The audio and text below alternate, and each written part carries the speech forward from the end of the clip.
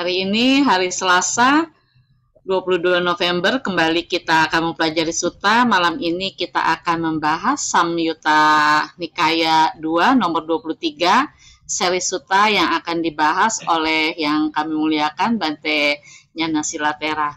Namun sebelumnya marilah kita sama-sama melakukan penghormatan awal dengan membacakan nama Karapata. Mari kita bersikap anjali. Mohon izin Bante, saya memimpin nama Karapata.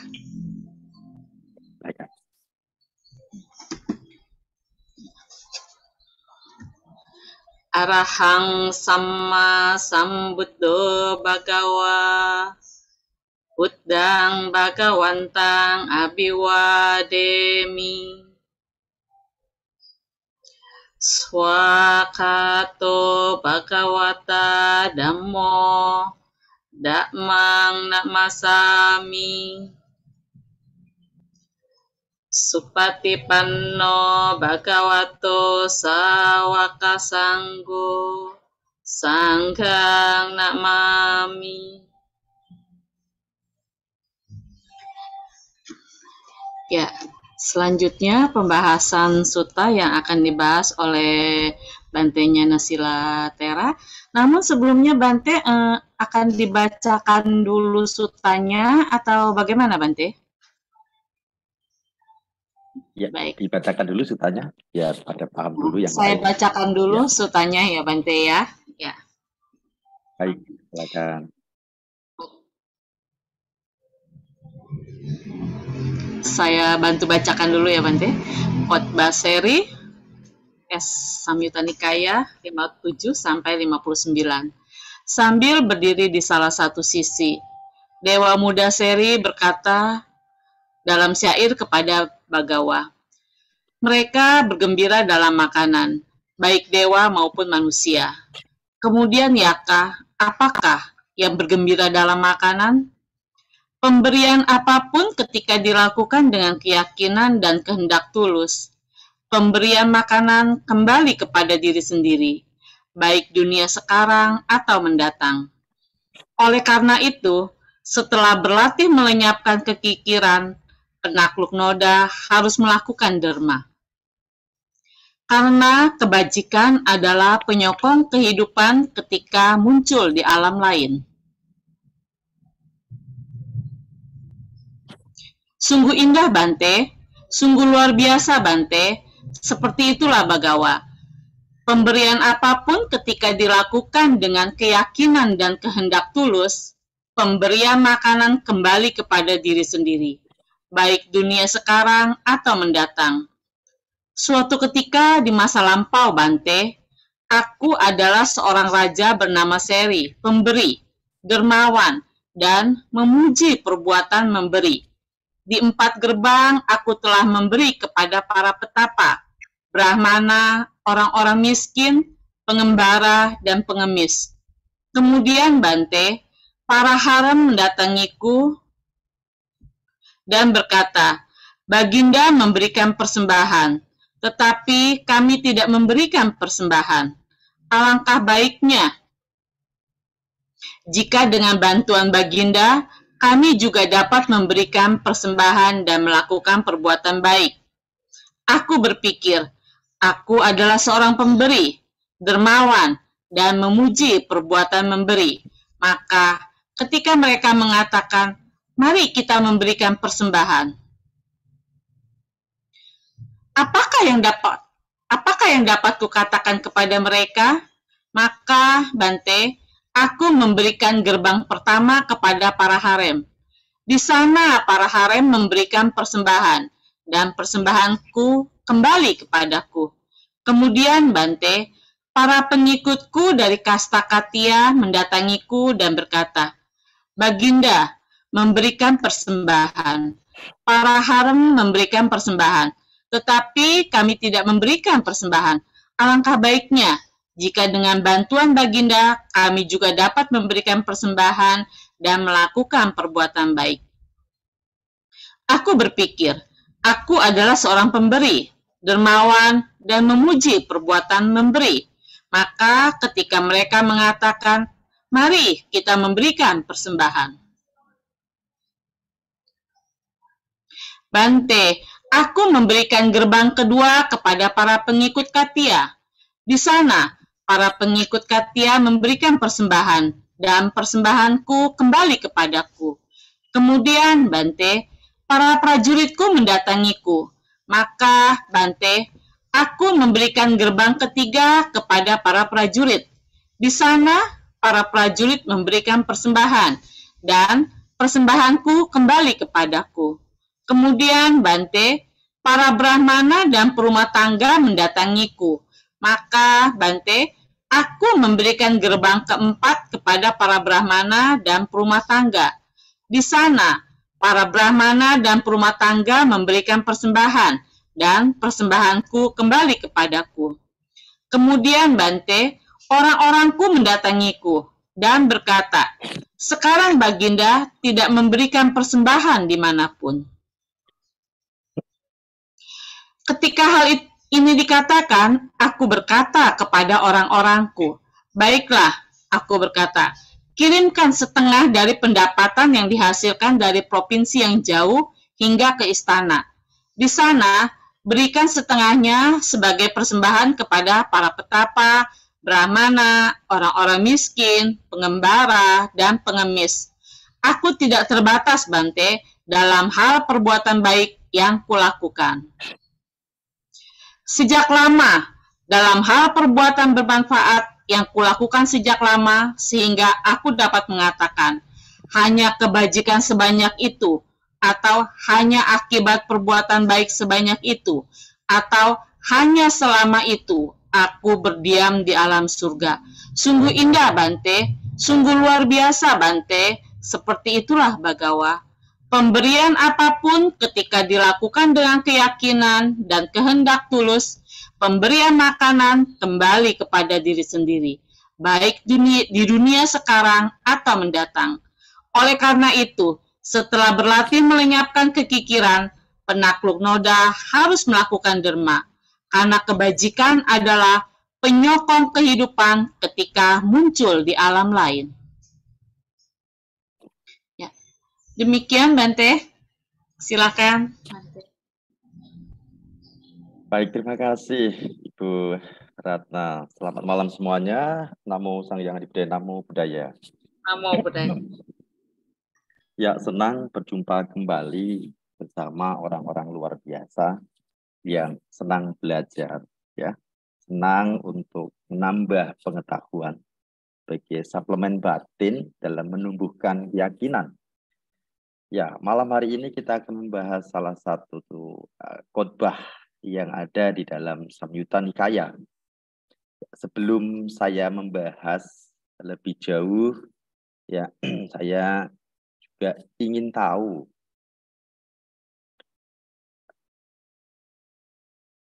saya ingin tahu kepada Anda apakah sebelum suta ini tadi dibacakan, Anda pernah membaca atau mungkin pernah mempelajari yang sudah boleh tulis angka satu, yang belum boleh tulis angka dua.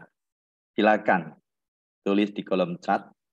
Apakah sebelum ini Anda pernah mendengar mungkin atau bahkan membahas Oke, yang sudah tulis angka satu, yang belum tulis angka dua, biar lebih mudah tidak lama mengetik gitu. Oke. Ternyata banyak yang belum ya. Banyak yang belum gitu. Jadi memang kelas ini sangat oh sudah sudah ada yang membaca baik satu saja yang membaca. Baik, artinya kelas ini memang diperlukan sekali ya, karena memang kalau membaca kitab itu tanpa satu bentuk motivasi yang cukup ya karena dilandasi keyakinan itu sulit sekali karena bukan hiburan gitu bukan bentuk hiburan tapi satu bentuk uh, cerita ya, di mana cerita ini bukan cerita yang merangsang indria kita seperti novel gitu. bukan cerita yang merangsang indria seperti halnya novel gitu bukan gitu sehingga tidak menarik bagi indria kita. Gitu. Menarik hanya bagi kita yang ingin memiliki kebahagiaan.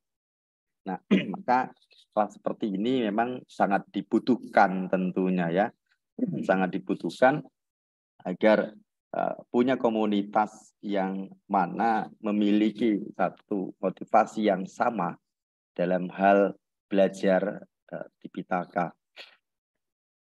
Malam hari ini kita akan membedah satu khotbah atau suta yang ada di dalam Samyutta Nikaya di buku satu ya yaitu di kelompok kedua berkaitan dengan bagian yang ketiga yaitu khotbah seri ya seri ini bukan uh, penyebutan urutan tetapi ini adalah nama dari seorang dewa nama dari seorang dewa. Ya. Nah, siapa sebenarnya beliau? Di mana khotbah ini disampaikan? Ya, siapa yang kemudian mengulas? Siapa yang mendengar? Kenapa ini disampaikan? Apa isinya? Ini yang akan kita coba untuk uh, kaji bersama-sama. kita akan mengaji bersama satu uh, khotbah dari Samyutta Nikaya. Saya akan mulai di layar berikutnya. Khotbah seri. Di dalam Samyutta Nikaya 1 di, ya ini jadi seri kata seri ya saya menyebutnya seri ya. Seri atau seri kalau mungkin kalau di istilah banyak di sebenarnya kalau kalau kita melihat lafal yang ada di zaman itu bukan seri ya seri ya, seri. Kalau kita me, me, banyak me, mendengar lafal yang di baik di Pali atau Sanskerta ya, masa itu penyebutan ke dewa-dewa lebih banyak bukan seri ya, seri ya. Kita sepakati kita menyebut khotbah khotbah seri ya, seri. Jadi Seri adalah nama dewa ya, yang dikatakan putra dewa dikatakan putra dewa yang menyampaikan sair kepada Buddha. Yang menyampaikan sair kepada Buddha. Beliau dari mana? Nah, kalau saya meninjau, menelisik, ya, menelisik eh, kata seri dalam komentar dan juga beberapa catatan yang salah satu uh, sumber di dalam Magandia Sutta di dalam Majjhima Nikaya itu bahwa di sana dikatakan mengacu pada khotbah Magandia Sutta di mana Buddha mencap, menceritakan tentang uh, satu dewa, ya, kelompok dewa yang mendapatkan buah-buah kelahiran dari perbuatan menjaga moralitas dan juga menjaga, e, mempraktekkan kedermawanan, yakni kelompok pengikut dari surga Tawatimsa. surga Tawatimsa. Mudah-mudahan saya tidak keliru di sini dalam apa menyebutkan ini karena kalau di teks nya itu tidak dikatakan dari mana gitu. Bahkan kalau kita melihat khotbah yang sebelumnya nih khotbah yang pertama nih kan ada beberapa khotbah nih ya. Khotbah yang pertama itu eh, para komentar tidak mengatakan seperti khotbah Siva misalkan tidak menyebutkan ini ini bahkan dikatakan ya, kemungkinan ini adalah dewa pada masa uh, Siwa yang di Hindu gitu yang di Hindu sehingga tidak disebutkan di sana. Uh, namun kalau saya merujuk dari kata seri yang ada di dalam teks rujukan untuk mengacu tentang dewa ini dari mana, ini adalah dewa dari surga Tawatimsa. Dewa dari surga Tawatimsa. Yang menarik sekali apa yang disampaikan oleh dewa ini tadi ya.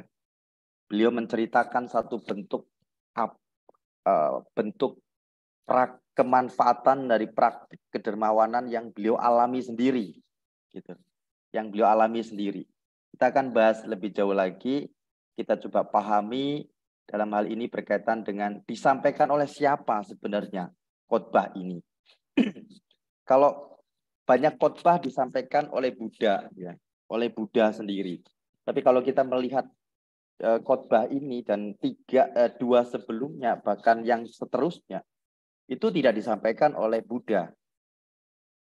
Tetapi ini disampaikan oleh Dewa Sri sendiri.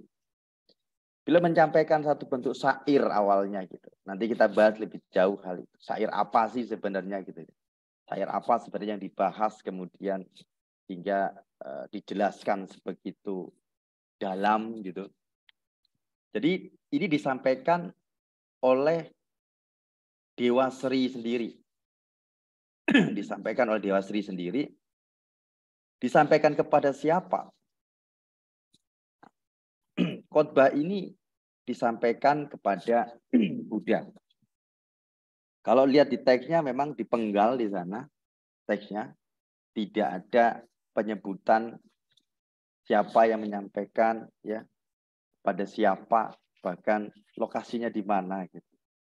Namun merujuk di suta yang pertama ya ini uh, tentang jiwa siwa itu di sana khotbah di awal ini disampaikan uh, kepada Buddha dan disampaikan di Sawati di Citawana, di taman milik Ananta Pindika.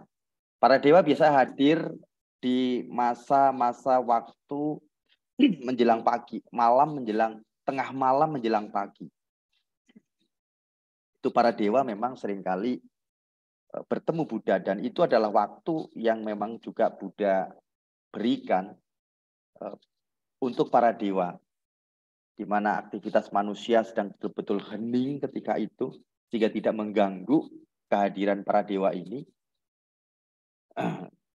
Dan waktu hening, di masa hening itulah para dewa biasa yang ini khusus para dewa yang punya keyakinan ya kepada Dhamma itu mendatangi Buddha, mendatangi Buddha. Jadi masa masa eh, pertengahan malam menjelang pagi. Dikatakan eh, di sana bahwa ini disampaikan di Sawati, di Cetawana, di taman milik Anata Bindika. Berkenaan dengan apa? Ini yang sangat penting sekali yang kita perlu garis bawahi tentang apa sebenarnya kata kunci yang disampaikan ya, dalam suta ini. Jadi Dewa Seri dalam hal ini menyampaikan tentang manfaat pemberian yang dilakukan dengan keyakinan dan kehendak tulus. Ini penting sekali. Kehendak tulus. Saya awalnya mengartikan dengan kata kesungguhan. Kalau di teksnya diartikan kepercayaan, saya lebih mengartikan dengan kata kesungguhan. Namun ketika melihat teks palinya ternyata ada kata cetana dan vipassana di sana. Artinya vipassana itu diartikan sebagai kemurnian dan cetana sebagai kehendak. Jadi kemurnian batin. Nah, kalau kita artikan dalam Indonesia adalah ketulusan. Kalau terkait dengan murni, terkait dengan kedermawanan, dengan kata Indonesianya itu adalah tulus di sini. Maka saya menggunakan kata tulus dengan uh, diawali kehendak. Ya. Jadi manfaat pemberian yang dilakukan dengan keyakinan dan kehendak tulus.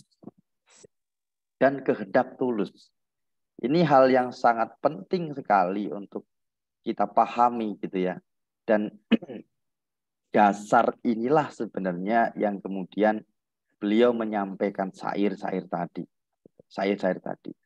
Jadi bukan sekedar pemberian saja, pemberian sekedar memberi saja.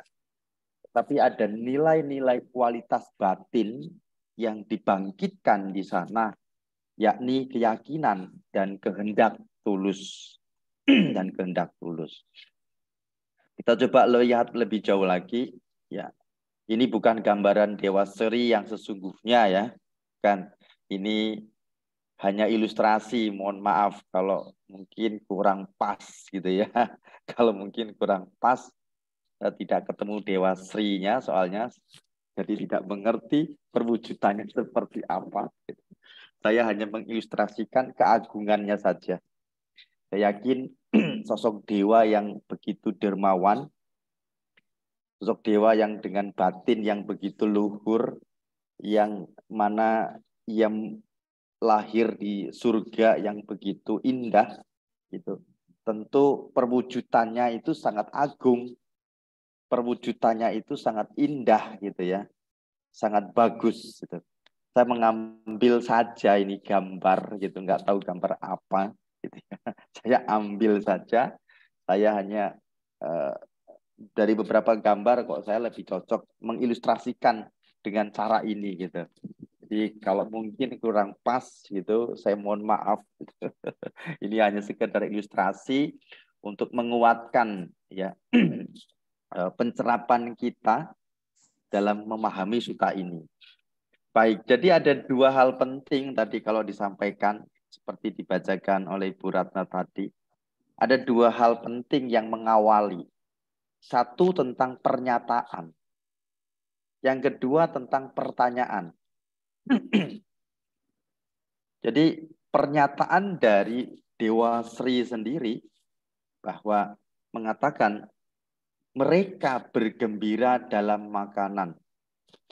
Kata mereka di sini sebagai menyebutkan bukan bukan dirinya artinya gitu ya.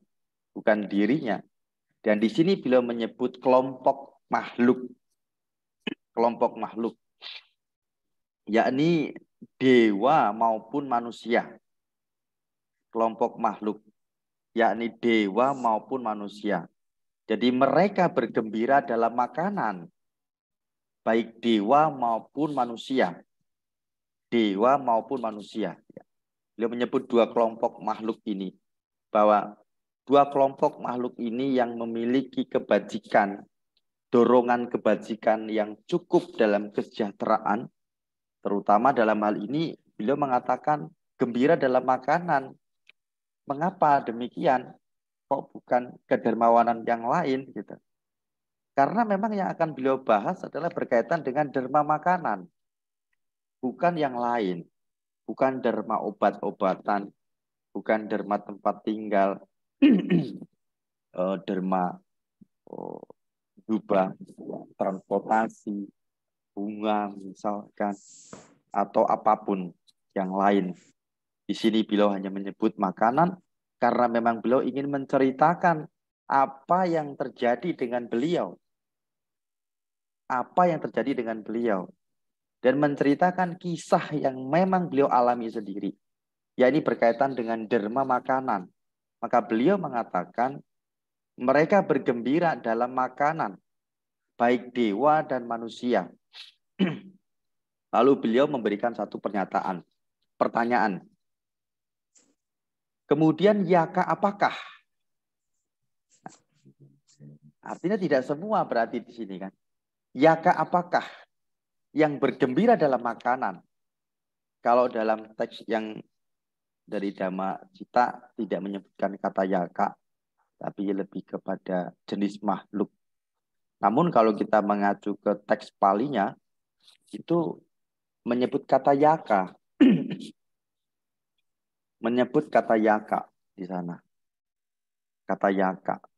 Jadi kalau saya kemudian menelisik kembali tentang kata yaka di sana gitu, karena eh, yaka ini adalah makhluk yang berada stratanya ini di atas makhluk peta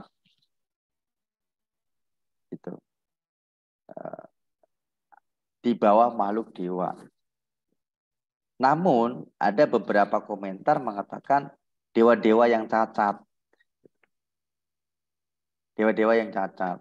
Atau juga yang memberikan satu uh, apa gambaran makhluk-makhluk yang uh, cacat dalam kebajikan. Gitu. Sehingga mereka lahir di alam yaka. di mana alam yaka ini penuh dengan kebengisan, penuh dengan kebengisan. Namun tidak semua yaka itu jahat gitu. Walaupun secara fisik itu digambarkan yaka ini sebagai makhluk yang sangat kejam dari sisi bentuk tubuh. Kalau saya mengilustrasikan mengilustrasikan ini ya istilah makhluk yang ada di Indonesia itu genderuwo gitu ya. Genderuwo. Mungkin ada yang pernah melihat ya. makhluk itu gitu ya. Ia punya kemampuan. Ia punya kesaktian yang tidak sama dengan makhluk-makhluk rendah seperti makhluk peta. Ia punya kemampuan. Tapi ia memiliki sifat yang nggak semua jahat gitu jahat dengan satu bentuk or gambaran tubuh yang yang garang yang garang yang garang maka kalau saya menggambarkan mungkin ini adalah kalau orang Indonesia mengatakan gederwo ya nah kalau melihat sok uh, saya katakan melihat saya hidup tujuh tahun dengan genderuwo. ya, jadi uh, sering kali juga menampak, tapi dia sangat baik. Ya. Cuma sama tetangga sebelah nggak baik, karena tetangga sebelah itu uh, akhirnya mereka pun bertanya. Gitu ya. Kalau di ketika itu dengan kami kebetulan kita perlakukan dengan baik, mesti awalnya sangat sangat sangat mengganggu sekali. Awalnya sering kali meng, mengagetkan ya, sering kali mengagetkan itu kadang-kadang uh, memukul apa uh, anak tangga gitu ya bergetar begitu kadang-kadang tahu-tahu duduk di belakang ketika kami membaca parita gitu. nah yang terakhir kebiasaannya adalah tidur uh, di atas di mana saya saya meditasi gitu jadi kadang-kadang jam 6 itu dulu-duluan kalau saya duduk dulu uh, dia nggak akan bunyi mendengkur di atas kalau dia dulu mendengkur, saya suruh pindah dia ke bawah, di bawah tangga dia bisa pindah. Eh, kita suruh pindah dia pindah. Dia pindah di bawah tangga. Dia mendengkur di sana. Dulu kalau nah di sini ada Bu Swasti. Kalau mungkin pernah ingat dulu teman-teman sering tanya suara apa Bante, saya bilang suara burung gitu. adalah suara yang uh, memang Eh, bukan suara burung gitu. Tujuh tahun ketika itu tetangga sebelah diganggu. Maka saya ketika saya men, mentelisik kata-kata yaka ini gambaran yang serupa gitu yang saya yang saya lihat ya.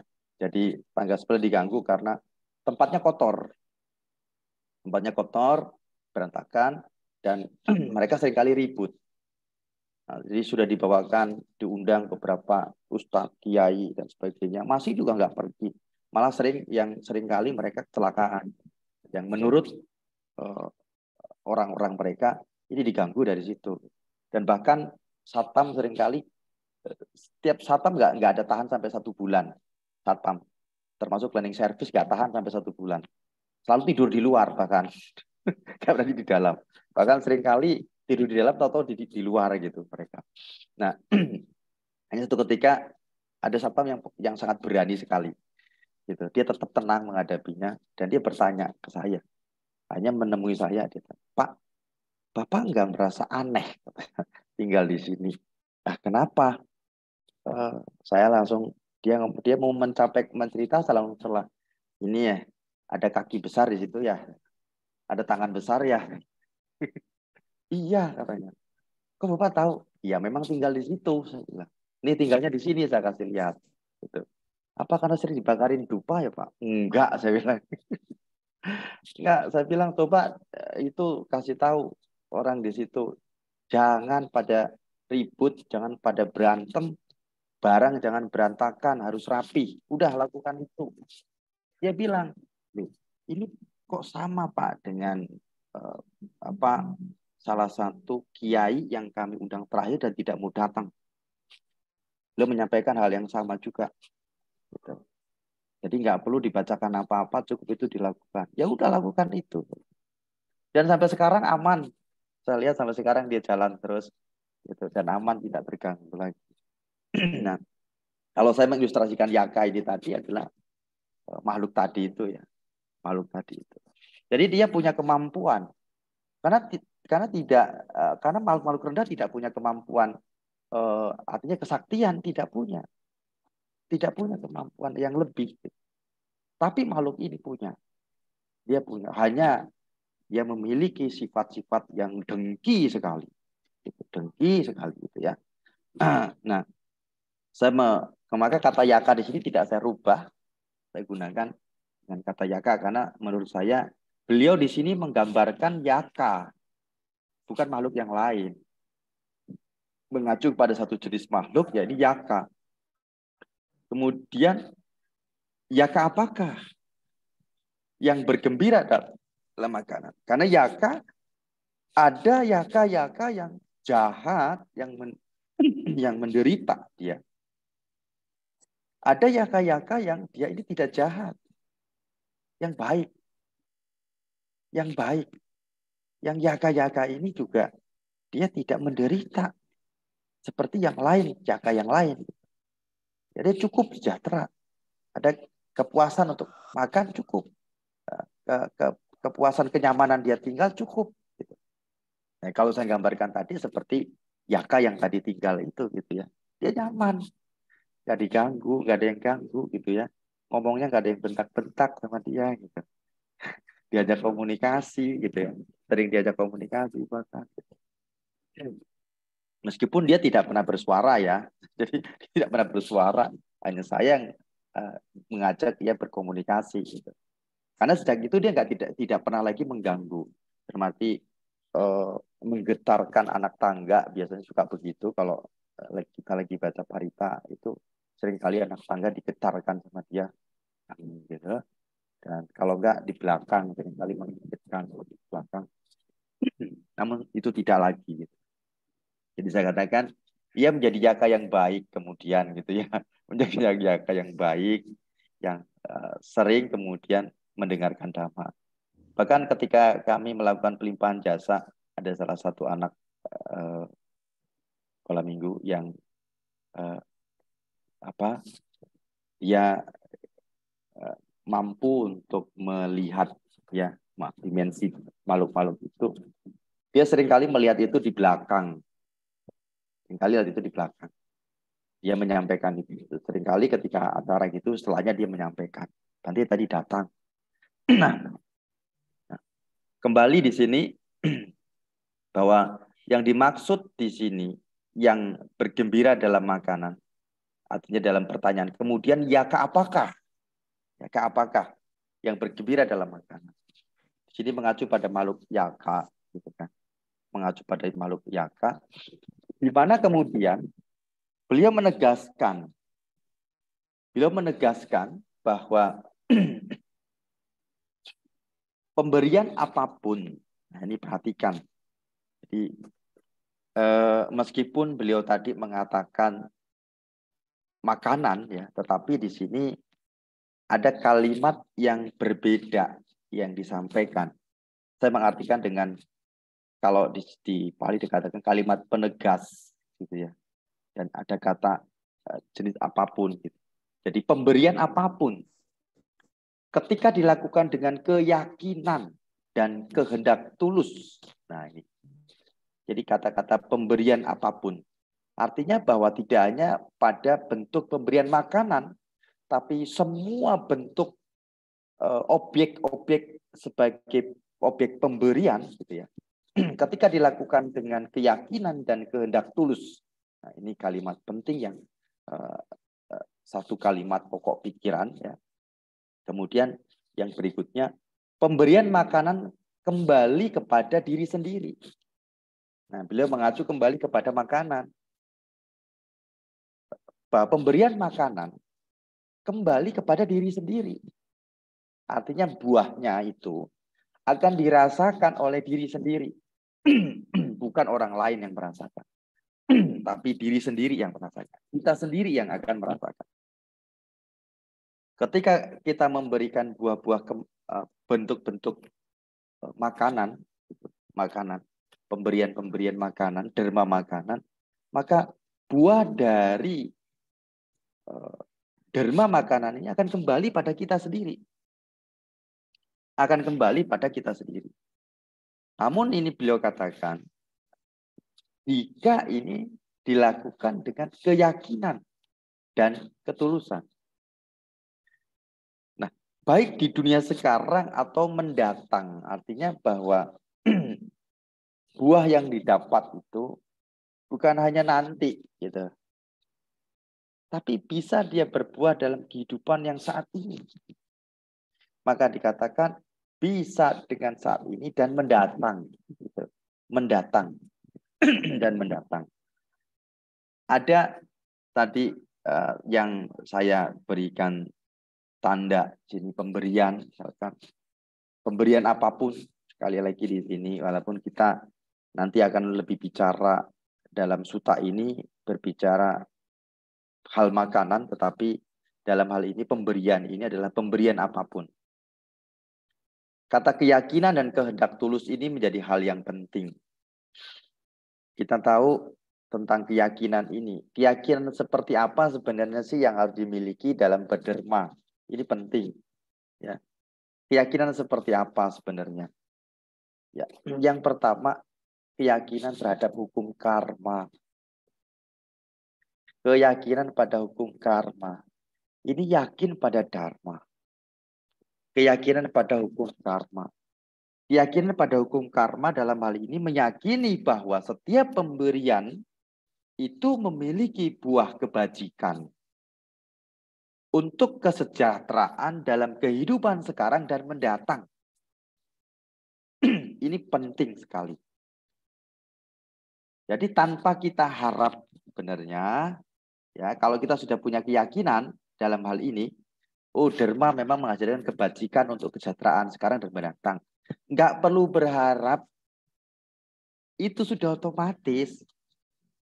Ketika kita memberikan ini dengan dasar keyakinan, ini ada kesempatan bajik, ada kesempatan baik untuk melakukan ke, untuk melakukan perbuatan derma agar memiliki kebajikan. Nah, ini agar memiliki kebajikan. Ada kesempatan melakukan perbuatan baik dalam berderma agar memiliki kebajikan berupa kesejahteraan untuk kehidupan sekarang dan mendatang. Nah, ini penting. ini yang harus hadir dalam batin kita. Yang harus hadir dalam batin kita. Lalu di sini dikatakan kehendak tulus. Ya, ingat kehendak ini kalau kita mengacu pada buah itu sudah mengatakan kehendak inilah yang disebut sebagai perbuatan atau karma. Kehendak inilah yang disebut sebagai perbuatan atau karma. Setelah seseorang berkehendak, dia akan uh, kemudian melakukan perbuatan melalui pikirannya, ucapan dan tubuh. Gitu. Dan tubuh artinya bahwa inilah yang akan mendorong kuat sekali untuk melakukan aktivitas derma. Maka penting kehendak ini kalau kita mengacu ke ini yang biasanya paling hafal kan kita orang Buddhis itu secara umum adalah dhamma pada pertama gitu ya. Arti di sana juga kehendak yang dimaksud gitu lah. Kehendak yang dimaksud sebenarnya. nah, di sini ada kata kehendak dalam arti tulus. Ya, tulus itu murni, bersih gitu ya. Kita pahami dalam dua hal kalau kita mengacu pada aspirasi. Satu, tulus dalam hal ini tidak ada eh, keserakahan. Dalam arti iri, ya, iri dengki ya. Bukan karena iri dengki nama baik, bukan karena itu. Gitu. Bukan karena itu. Bukan juga didasari kemarahan. Kemarahan bukan. Gitu.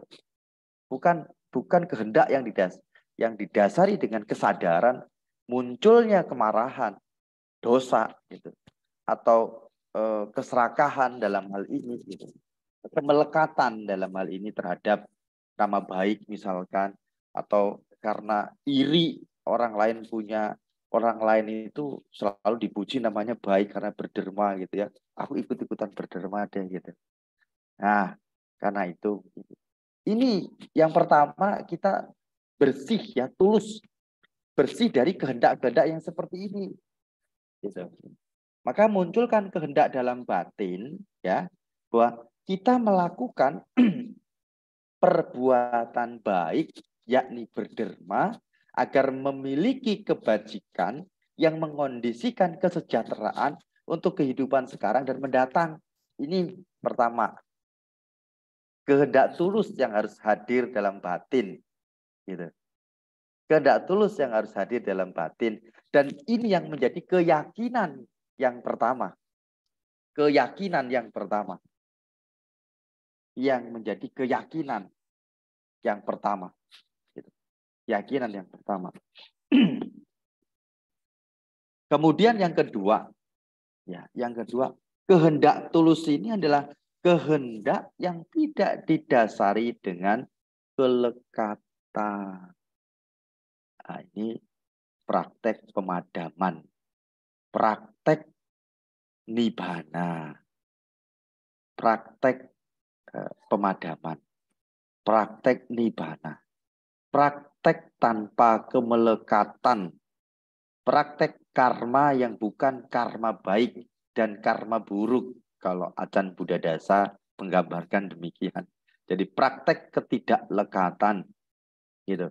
Ini adalah praktek yang akan mengondisikan kebebasan batin, padam, pemadaman, yang akan terus mengarah pada pengikisan kelekatan atau kekikiran yang menuju pada nibana.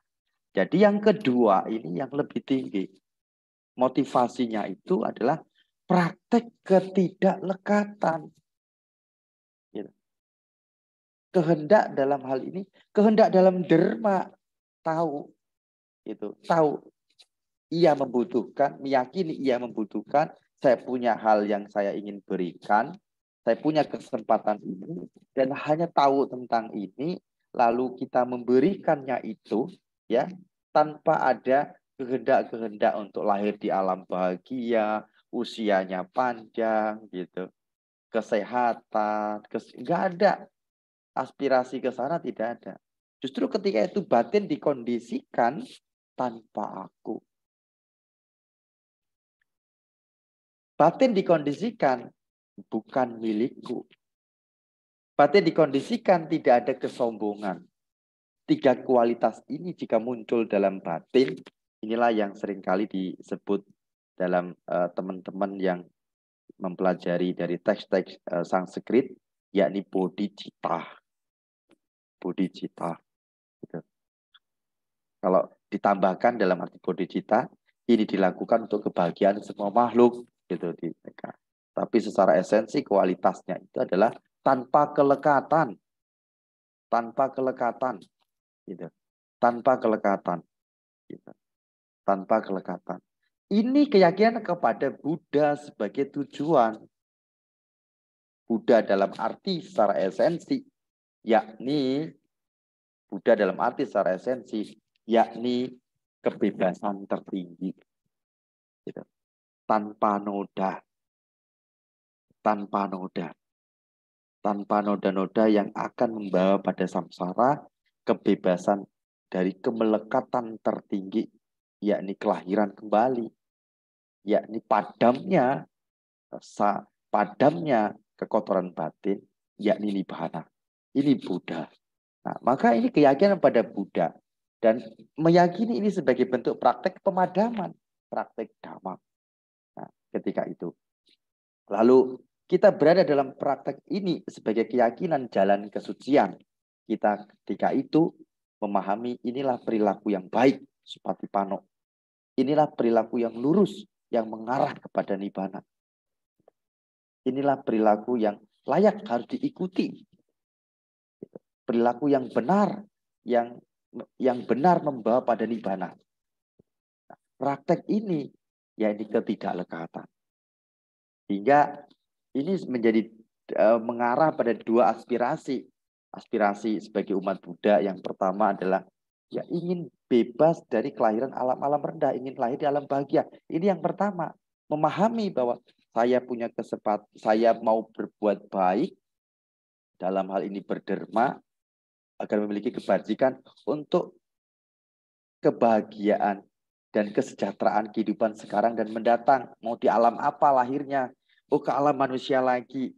Oh, mau ikut Dewa Sri dia ke alam Kawatimsa. Aspirasikan. Semoga ini mengkondisikan ketika hadirnya tubuh eh, dan muncul di Tawatimsa gitu. Seperti 33 uh, pemimpin yang ada di Tawatimsa kan, mereka melakukan derma bersama-sama gitu. Dan aspirasi yang dilakukan oleh mereka. nah, yang kedua adalah praktek ketidaklegatan tadi yang mengarah kepada nibana. Dan ini penting yang harus dihadirkan, haruskah dihadirkan motivasi-motivasi seperti ini dan kualitas keyakinan dan kehendak tulus ini? Ya, harus. Pemahaman-pemahaman inilah sebenarnya yang akan mendorong kita terus melakukan bentuk-bentuk praktek-praktek yakni kedermawanan. Kemudian dikatakan pemberian makanan kembali kepada diri sendiri. Ini berkaitan dengan manfaat bahwa manfaat dari perbuatan baik yang kita lakukan itu nggak akan kepada nggak akan nggak akan salah gitu ya. bahwa ia akan kembali pada kita sendiri hal inilah yang dialami oleh si dewa Sri ini dia mengalami bentuk-bentuk kemakmuran di alam tawatimsa gitu kesejahteraan di alam tawatimsa dia mengalami itu dan dia merasakan itu didapat dari praktek dia dalam berderma makanan yang juga mendorong ia untuk lahir di alam tawatimsa. Gitu. Maka di sini dikatakan bahwa buah ini akan ada ya baik di dunia sekarang atau mendatang gitu. Atau mendatang. Baik di dunia sekarang atau mendatang. Jadi hal yang penting ya, kalimat-kalimat penting yang Eh, menjadi satu bentuk penjelasan dalam syair yang diberikan oleh Dewa Sri. Ya, dalam syair diberikan oleh Dewa Sri. Nah, kemudian beliau meneruskan meneruskan dalam kalimat berikutnya. Oleh karena itu, nah ini beliau mengajak, ini bentuk ajakan. Oleh karena itu, setelah berlatih melenyapkan kekikiran, artinya bahwa uh, penting ya di sini ya, kalimat berlatih melenyapkan kekikiran. Jadi bentuk kelekatan yang kita alami itu kekikiran kalau terkait dengan pemberian susah sekali memberi gitu. Banyak sekali alasan dalam memberi sehingga sulit sekali dalam melakukan bentuk pemberian. Bahkan sering kali menghalangi orang lain gitu melakukan kedermawanan dalam hal derma itu karena pemikiran-pemikiran ia tentang kegigiran. Nanti seperti ini loh, nanti seperti ini loh, seperti ini loh gitu. Yang di mana ia mengajak orang itu untuk tidak melakukan kedermawanan.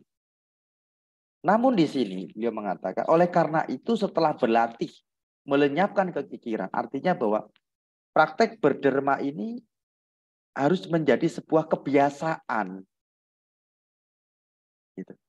Harus dibiasakan karena batin kita ini memang cenderung melekati apa yang menyenangkan. Bahkan apa yang tidak menyenangkan juga dilekati. Yang inilah yang menyebabkan kita itu menderita. Bukan hanya sulit kita untuk mencapai nibana, tetapi bahkan ini sulit untuk lahir di alam bahagia. Yang bisa membuat kita jatuh di alam-alam rendah. Di neraka, di alam binatang, di alam peta, Kalaupun jadi makhluk yaka, makhluk yaka yang jahat gitu. bukan yang baik. Bukan yang baik, yang jahat. Sehingga dalam hal ini, oleh karena itu setelah berlatih melenyapkan kekikiran, artinya kekikiran ini, uh, praktek kedermawanan ini harus menjadi sebuah uh, pola hidup, pola hidup, menjadi pola hidup kita. Mungkin awal kali sangat susah kita memberi uh, sesuatu apa pun itu, walaupun kiranya barang itu barang yang mungkin nggak kita gunakan. Tapi mau kasih ke orang aja, aduh. Gitu. Barang sudah nggak dipakai, kita sudah tidak. Barang ini sudah lama, kita nggak pakai lagi. Ada orang butuh, kita melihat dia butuh, mau ngasih, kok berat sekali. gitu.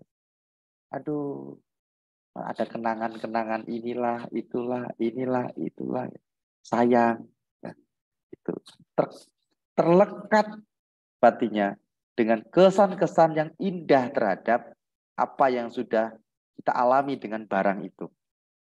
Sehingga meski barang itu tidak lagi kita gunakan, bahkan sudah lama, kita sulit memberi ke orang lain. Sulit memberinya. Sulit memberinya. Sangat sulit sekali. Lebih baik rusak barang itu daripada diberi ke orang lain gitu. Karena kita nggak ingin kebahagiaan terkait dengan ke terkait dengan benda itu dimiliki orang lain. Kita nggak ingin itu, gitu. Nggak ingin itu. Hanya kita saja dah yang merasakan. Bayangkan, kekikiran itu seperti itu. Coba Anda boleh rasakan sendiri ketika Anda mungkin mengalami kondisi-kondisi seperti ini. Itu kekikiran. Itulah yang menghalangi kita melakukan sulit melakukan perbuatan baik. Nah, caranya apa? Maka Buddha mengawali gitu dari barang-barang yang di luar diri kita. Mulai dari makan itu. Yang pasti kita makan itu tidak mungkin habis semua.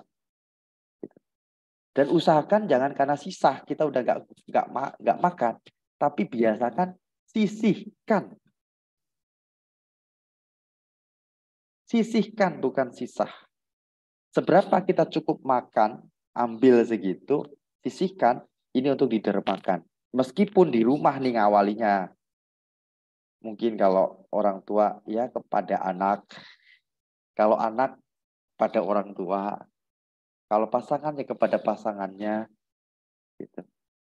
Pada mertua. Nanti lama-lama di rumah sudah terbiasa dengan orang-orang dekat. Kepada tetangga. Tetangga sudah mulai terbiasa nih, cari orang yang nggak kenal di jalan, gitu. Yang kita lihat dia butuh, tapi kita nggak kenal, gitu, kepada mereka. Gitu. Nah, sudah mulai terbiasa nih. Coba lihat orang yang meskipun dia menyakiti kita, tapi dia membutuhkan satu bentuk bantuan dari kita. Nah, kita mulai itu berperang lagi, ya, berperang lagi di sana kita. Artinya gacami kalau dalam perlindungan. Gacami, kita pergi. Aku pergi bertempur nih melawan apa? Melawan kelekatan akan kesan yang tidak menyenangkan berupa kemarahan yang kemudian muncul terhadap orang itu, tapi kita tahu dia membutuhkan barang dari kita, kita punya dan kita nggak kita nggak pakai. Nah, coba berikan. Kalau kita bisa memberi dengan senyum dan dengan bahagia ya kita berhasil tuh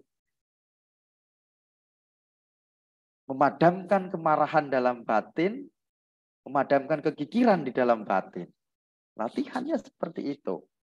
Gitu.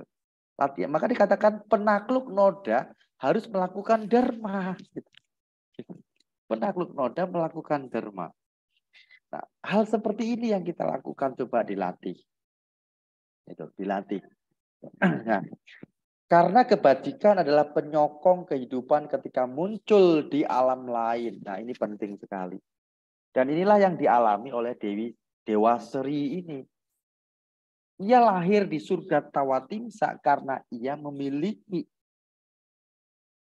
kebajikan sebagai nilai dalam perbuatan baik dari kedermawanan. dari kedermawanan.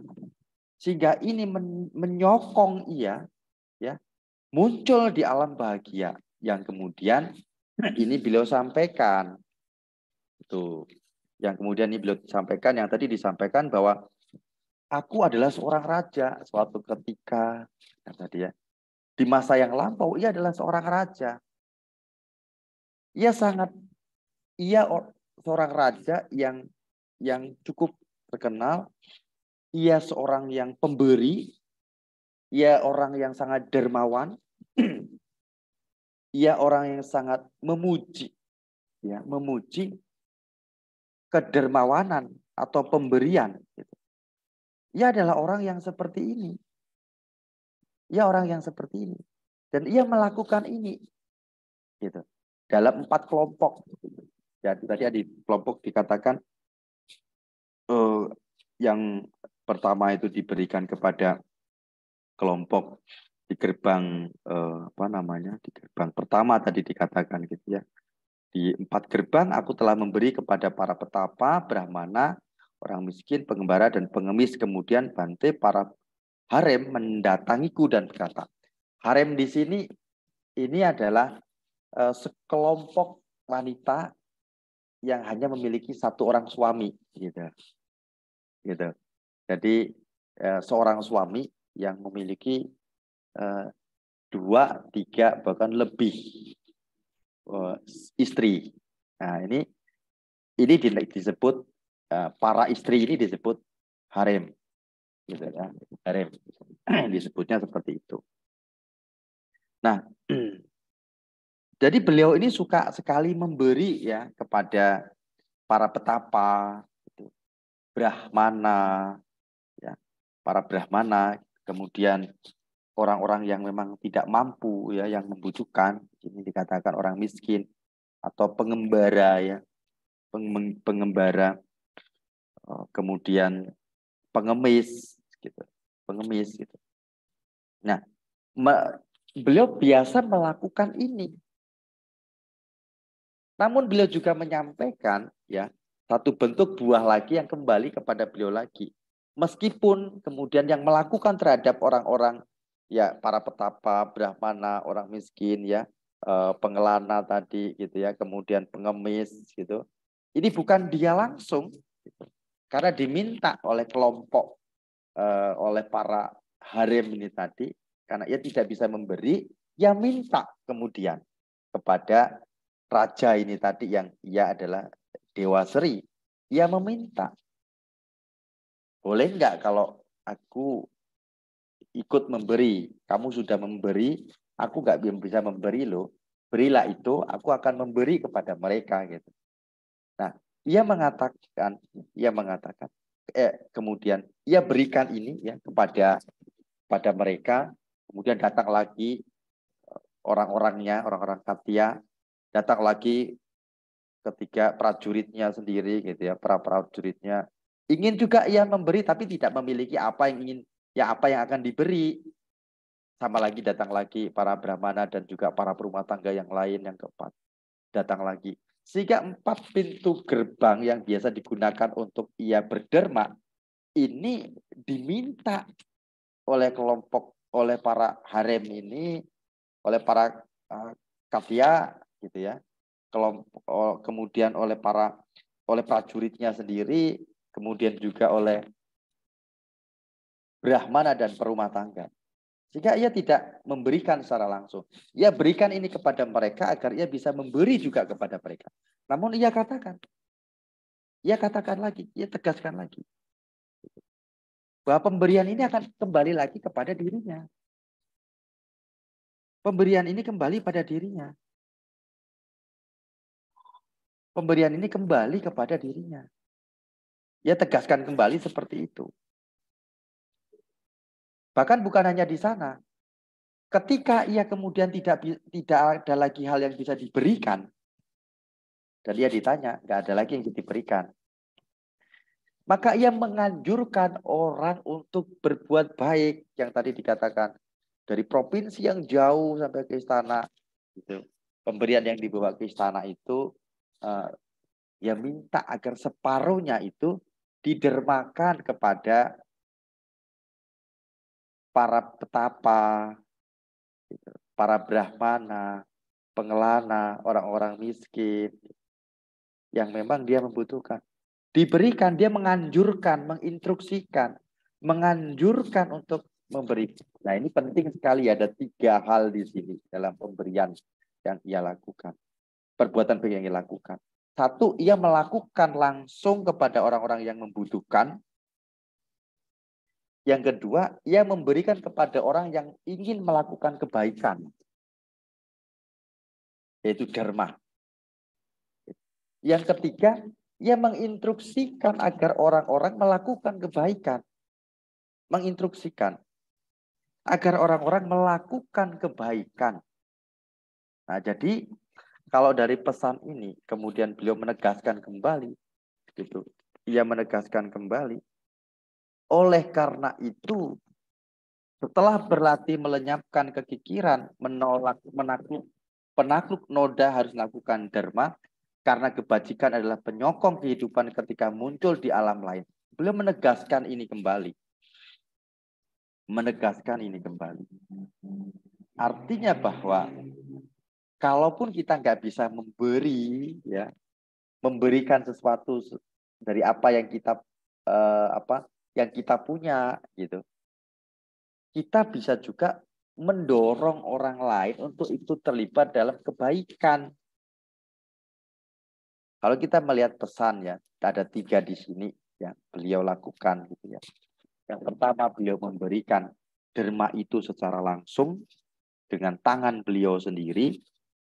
Yang kedua, beliau memberikan kepada orang yang ingin melakukan dharma juga mengikuti beliau tapi tidak punya. Yang ketiga, beliau kemudian menginstruksikan karena nggak punya apa yang ingin diberi, ia menginstruksikan orang lain untuk menyisihkan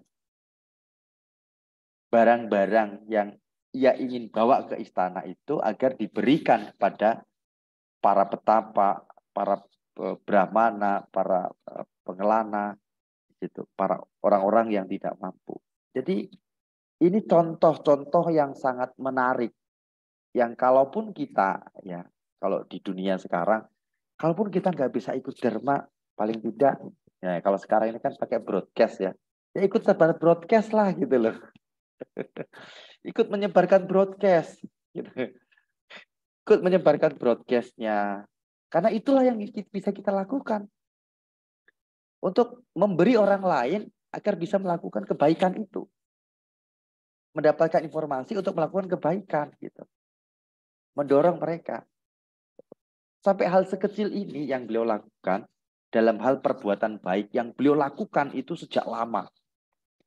Yang beliau lakukan itu sejak lama. Bahkan beliau katakan hanya kebajikan sebanyak itu atau hanya akibat perbuatan baik sebanyak itu atau hanya selama itu aku berdiam di alam surga artinya menegaskan bahwa apa yang ia miliki yang ia rasakan yang ia dapatkan kelahiran dan segala bentuk kemakmuran yang dimiliki itulah buah-buah dari apa yang selama ini ia lakukan dalam praktek derma makanan itu yang beliau tegaskan.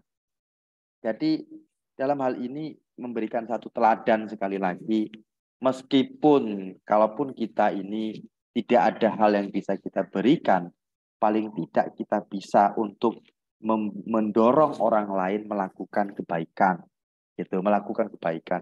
Media-media sarana saat ini cukup banyak, gitu ya, yang bisa kita lakukan. Kita tidak perlu mencontoh seperti eh, raja yang eh, menjadi dewa seri tadi dengan mengimbau masyarakat tidak perlu karena sekarang medianya sudah lebih gampang. Cukup kita dengan media-media yang ada ya meneruskan broadcast dari apa eh, ruang-ruang bajik yang memang itu uh, diadakan dan memang ia memerlukan dukungan gitu. Itu menjadi satu sarana kebajikan. Tetapi tadi Ingat, ada nilai yang harus dibangkitkan dalam batin kita. Keyakinan dan kehendak tulus. Gitu. Ini yang sangat penting yang dihadirkan. Jadi tidak hanya sekedar broadcast saja, jangan. Tapi niatkan, niatkan juga, yakin ini adalah ruang bajik. Gitu. Niatkan ini ruang bajik, ini kesempatan baik untuk memberikan orang berbuat baik dan membantu orang uh, dalam hal mendapatkan apa yang memang ingin ia butuhkan untuk mencapai apa yang ia inginkan, baru sebarkan. Niat ini, motivasi ini dibangkitkan di dalam batin, yakni keyakinan dan ketulusan itu dihadirkan. Nah, maka jadikanlah kedermawanan sebagai karakter sebagai karakter baik pada diri kita ya maaf jadikanlah kedermawanan ini sebagai karakter ya, karakter baik pada diri kita agar menjadi penopang bajik dalam kehidupan sekarang dan mendatang.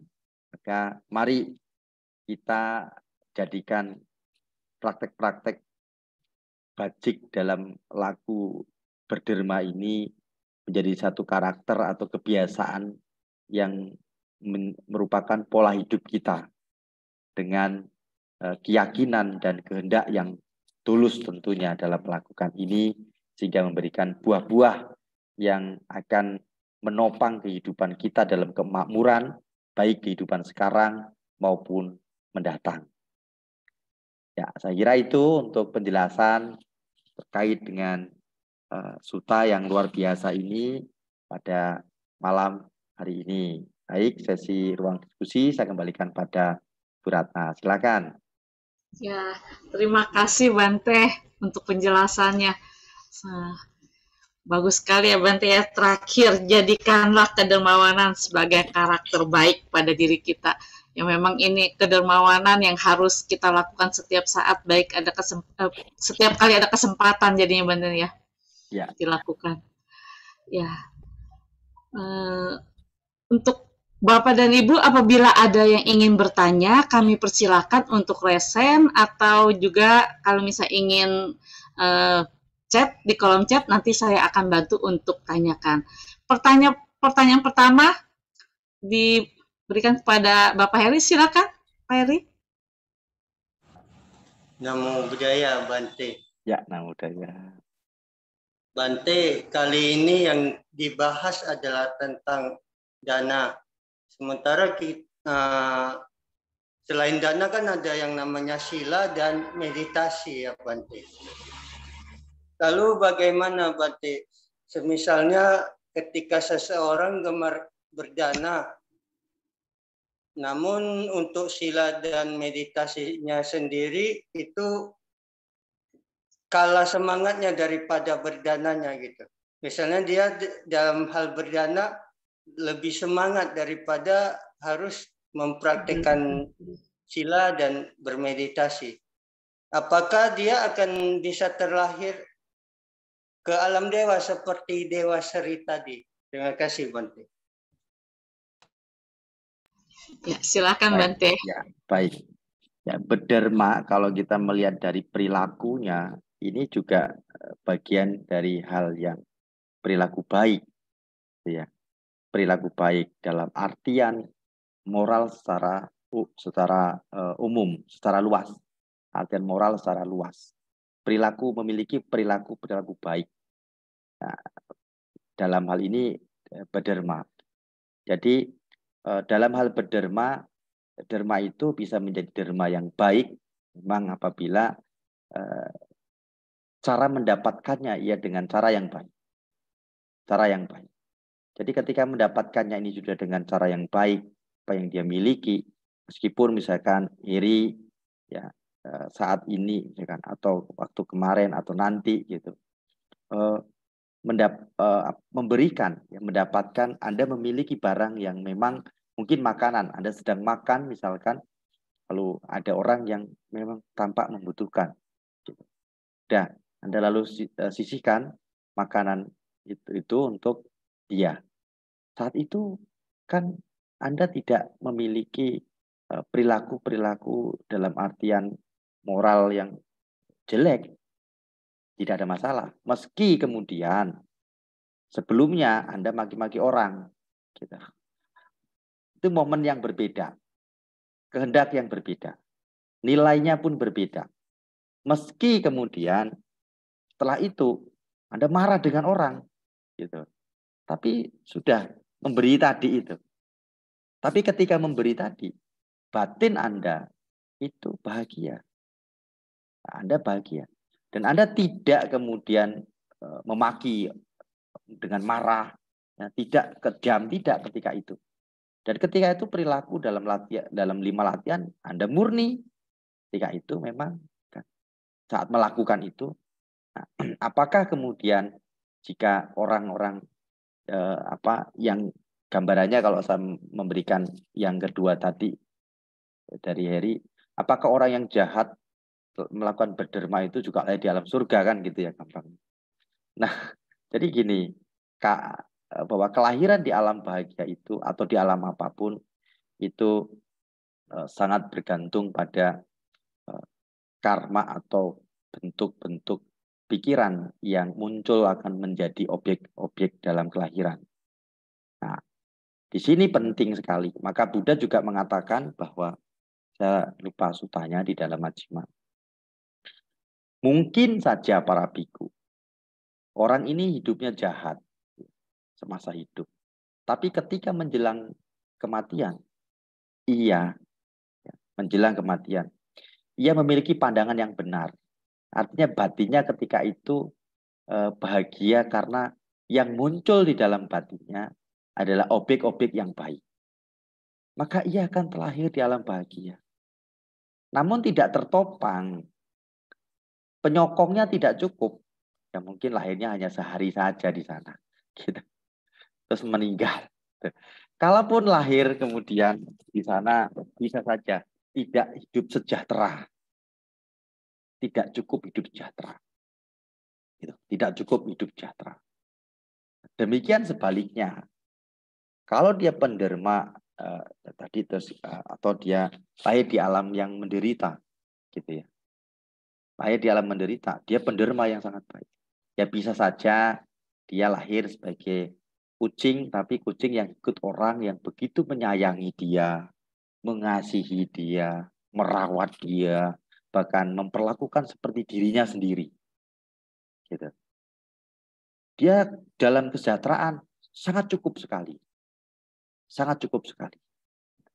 Namun sangat baik memang ketika kita memiliki perilaku moral yang baik gitu dalam setiap waktu dan juga memiliki dermawanan. Karena itu akan menopang satu bentuk kelahiran kalaupun kita lahir sebagai manusia misalkan ya kita cukup dalam hal kesejahteraan itu kita sebagai manusia juga hidupnya sehat kita sebagai manusia juga akan berada di pergaulan yang baik akan mudah belajar dhamma kita akan batin akan mudah mampu dan mencerap tentang pemahaman-pemahaman dhamma dengan baik, batin kita tidak diliputi dengan niatan-niatan jahat.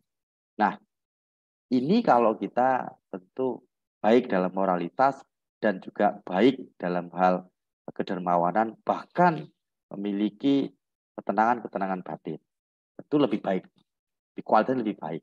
Namun dari apa yang saya sampaikan tadi, ya mungkin saja bisa saja kalau karena dalam kematian itu kan ada karma-karma kebiasaan yang bisa menjadi yang matang di saat menjelang kematian. Kalau karma berat tidak bisa, karma menjelang kematian tidak bisa, karma kebiasaan akan muncul. Ya, jadi kalau kebiasaannya berbuat baik, ya itu yang akan muncul. Dia bisa lebih bisa menjadi objek gitu, untuk menjadi karma produktif dalam hal eh, apa karma kelahiran kembali, maka ia akan bisa lahir di alam-alam. Begitu, jadi ya. Ya, baik Bante. Berarti saya bisa menyimpulkan Bante, bahwasanya dana itu tidak ada yang percuma. Karena saya pernah mendengarkan pernyataan, saya tidak akan sebutkan siapa yang melakukan pernyataan ini, tetapi dia mengatakan begini, beliau, menyampaikan pernyataan seperti ini. Sekalipun orang berdana tetapi tidak menjalankan sila, maka dananya percuma. Tetapi dalam materi malam ini akhirnya saya katakan bahwa pernyataan itu salah. Bagaimanapun dana itu tidak ada yang percuma. Hanya saja hasilnya besar atau kecil ya tadi seperti Bante katakan kembali lagi kalau bisa lengkap dana baik, sila baik, meditasi juga baik. Terima kasih. Baik. Baik. Terima kasih.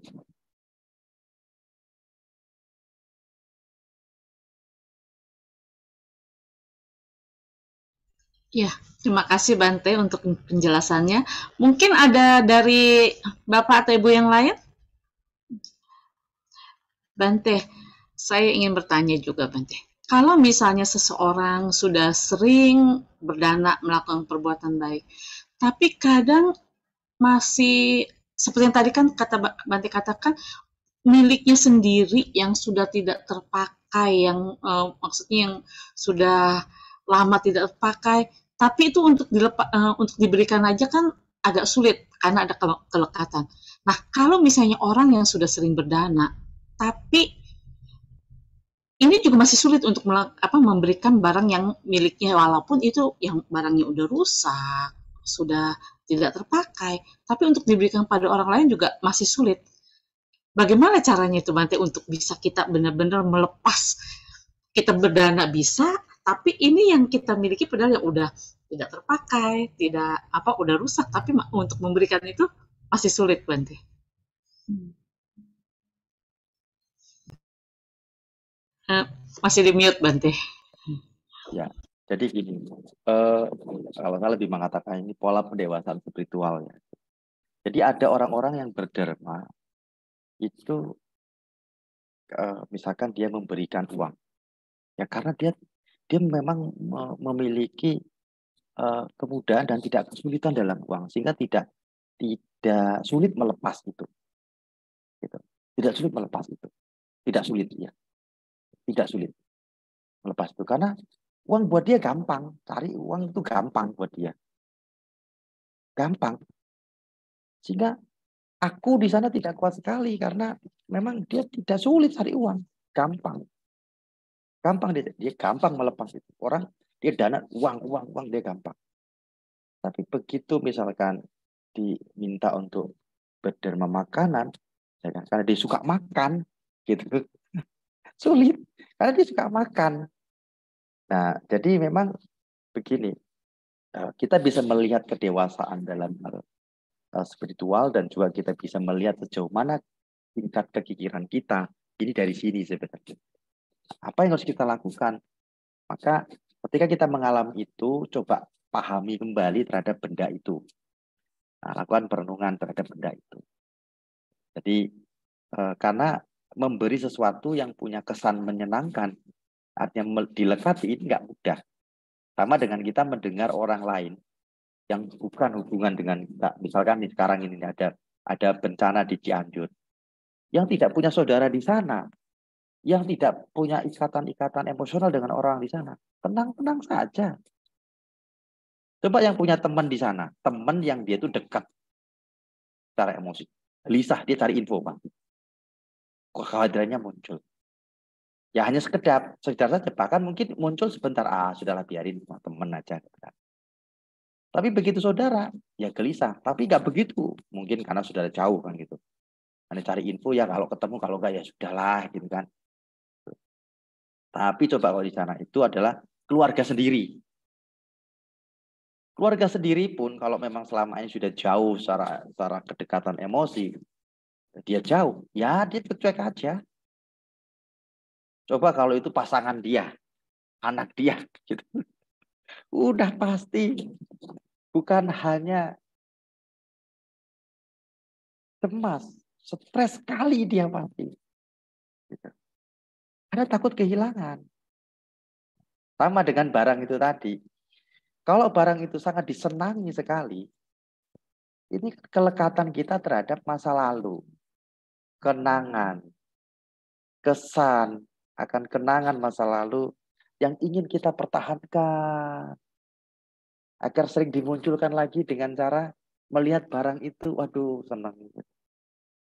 Padahal untuk memunculkan perasaan bahagia itu lagi, nggak perlu lihat barang itu loh. Pegang pun nggak perlu. Cukup duduk diam. Saya dulu pernah begini loh. Hadirkan lagi, bahagianya muncul kok gitu loh. Kalau yang tahu kan semudah itu, oh gampang kok munculkan lagi. Baru bahagia lagi. Bahkan kita bahkan perasaan itu seperti hal yang mana barang itu masih ada gitu. Kalau itu gampangnya gitu ya, memunculkan bahagia segam seperti itu sebenarnya harusnya gitu kan. Tetapi kembali karena ya sangat lekat sekali sehingga dia mempertahankan kebahagiaannya itu dengan juga mempertahankan apa yang menjadi sarana dalam kebahagiaan itu. Pertahankan. Lebih baik rusak daripada tak kasih ke orang lain. Ini kenangannya luar biasa. Nah, renungkan coba ketika orang itu membutuhkan seperti halnya kita membutuhkan barang ini. Ada yang membutuhkan. Saya punya nggak pakai, saya udah nggak pakai, ini juga sudah lama. Nah itu itu pahami dulu. Ini barang sudah lama, sudah saya tidak pakai, saya tidak digunakan. Gitu. Saya harus manfaatkan ini agar menjadi uh, kebahagiaan yang lebih dari sekedar kesan dalam sarana barang ini. Kebahagiaan yang lebih. Gitu.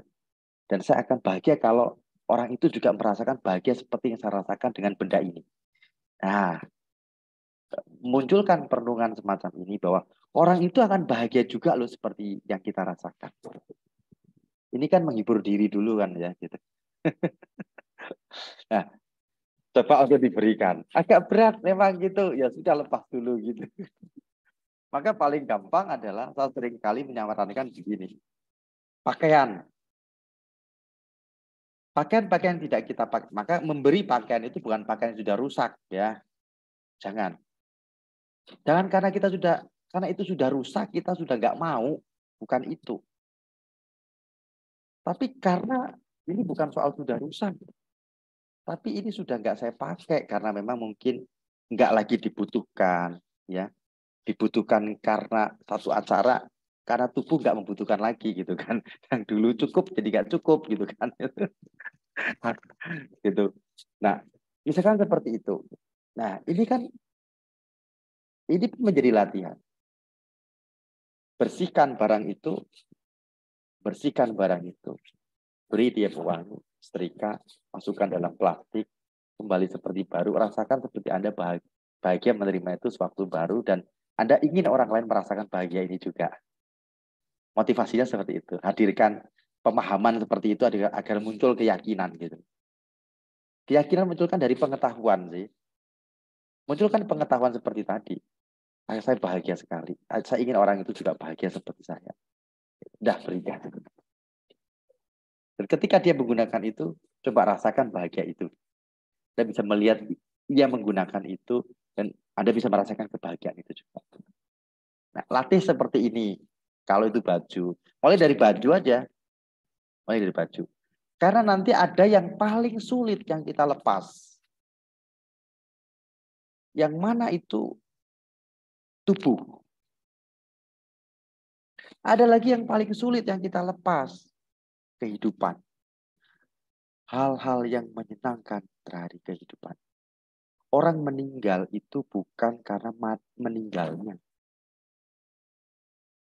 dia sulit melepaskan keindahan tubuhnya, dia sulit melepaskan kebahagiaan akan tubuhnya, dia sulit melepaskan bahagia dalam hidup ini. itu. itu. Saya nah ini kita Jum, Jumat lalu saya ketemu orang yang dia mau meninggal. Jadi udah beberapa kali dia uh, bilang, saya bilang, oke nanti saya ke sana tunggu saya. Saya panggilnya Opa, tunggu saya Opa. Saya ke sana Ya, terus kemudian dia sampaikan beberapa hal, saya saya nggak balas, saya bilang, saya ke sana apa? Sudah saya datang ke rumah. Ke sana, dia senang sekali sampai dia menangis. Dia kemudian dia bilang, dia minta maaf. Uh, dia bilang, ini mungkin per, ini pertemuan terakhir Bante. Saya ketemu Bante. Dia sampaikan itu, dan dia sampaikan apa? Saya gali dia apa yang bahagia. Dia bilang, seperti awalnya dia mau ikut saya di Padepokan, tapi kondisi fisiknya tidak memungkinkan, jadi tidak jadi.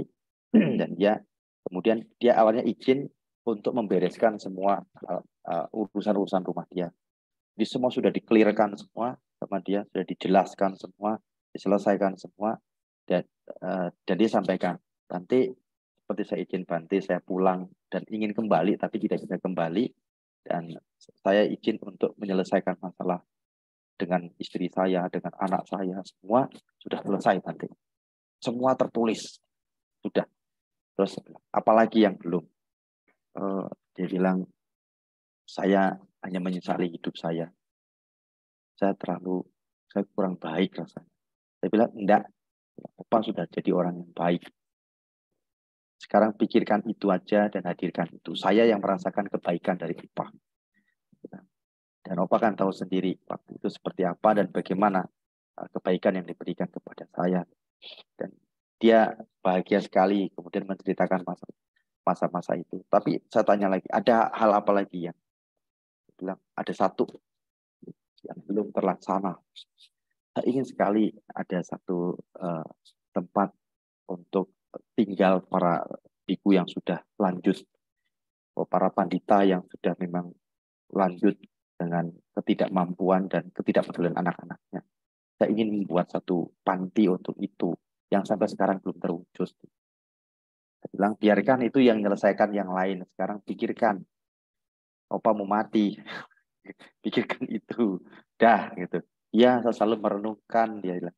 Saya selalu renungkan eh, hal-hal baik yang munculkan. Ya. Apa yang saya tangkap dari cerita itu adalah beliau itu masih belum ikhlas dengan hal-hal baik yang membuat ia bahagia yang ia lakukan. Ia orang yang sangat uh, pemurah sekali. Ya untuk menolong orang sakit dia sampai jual dua rumahnya. Itu betul-betul rumah yang lain sudah dia bagi semua ada rumah yang memang aset dia dijual. Bahkan terakhir pun satu-satunya kendaraan yang dimiliki pun dijual untuk tolong orang juga. Dan dia bahagia dengan itu. Sangat bahagia dengan itu. Tetapi ada hal-hal yang belum dia bisa lakukan yang membuat yang harusnya membuat dia lebih bahagia lagi menurutnya. Gitu.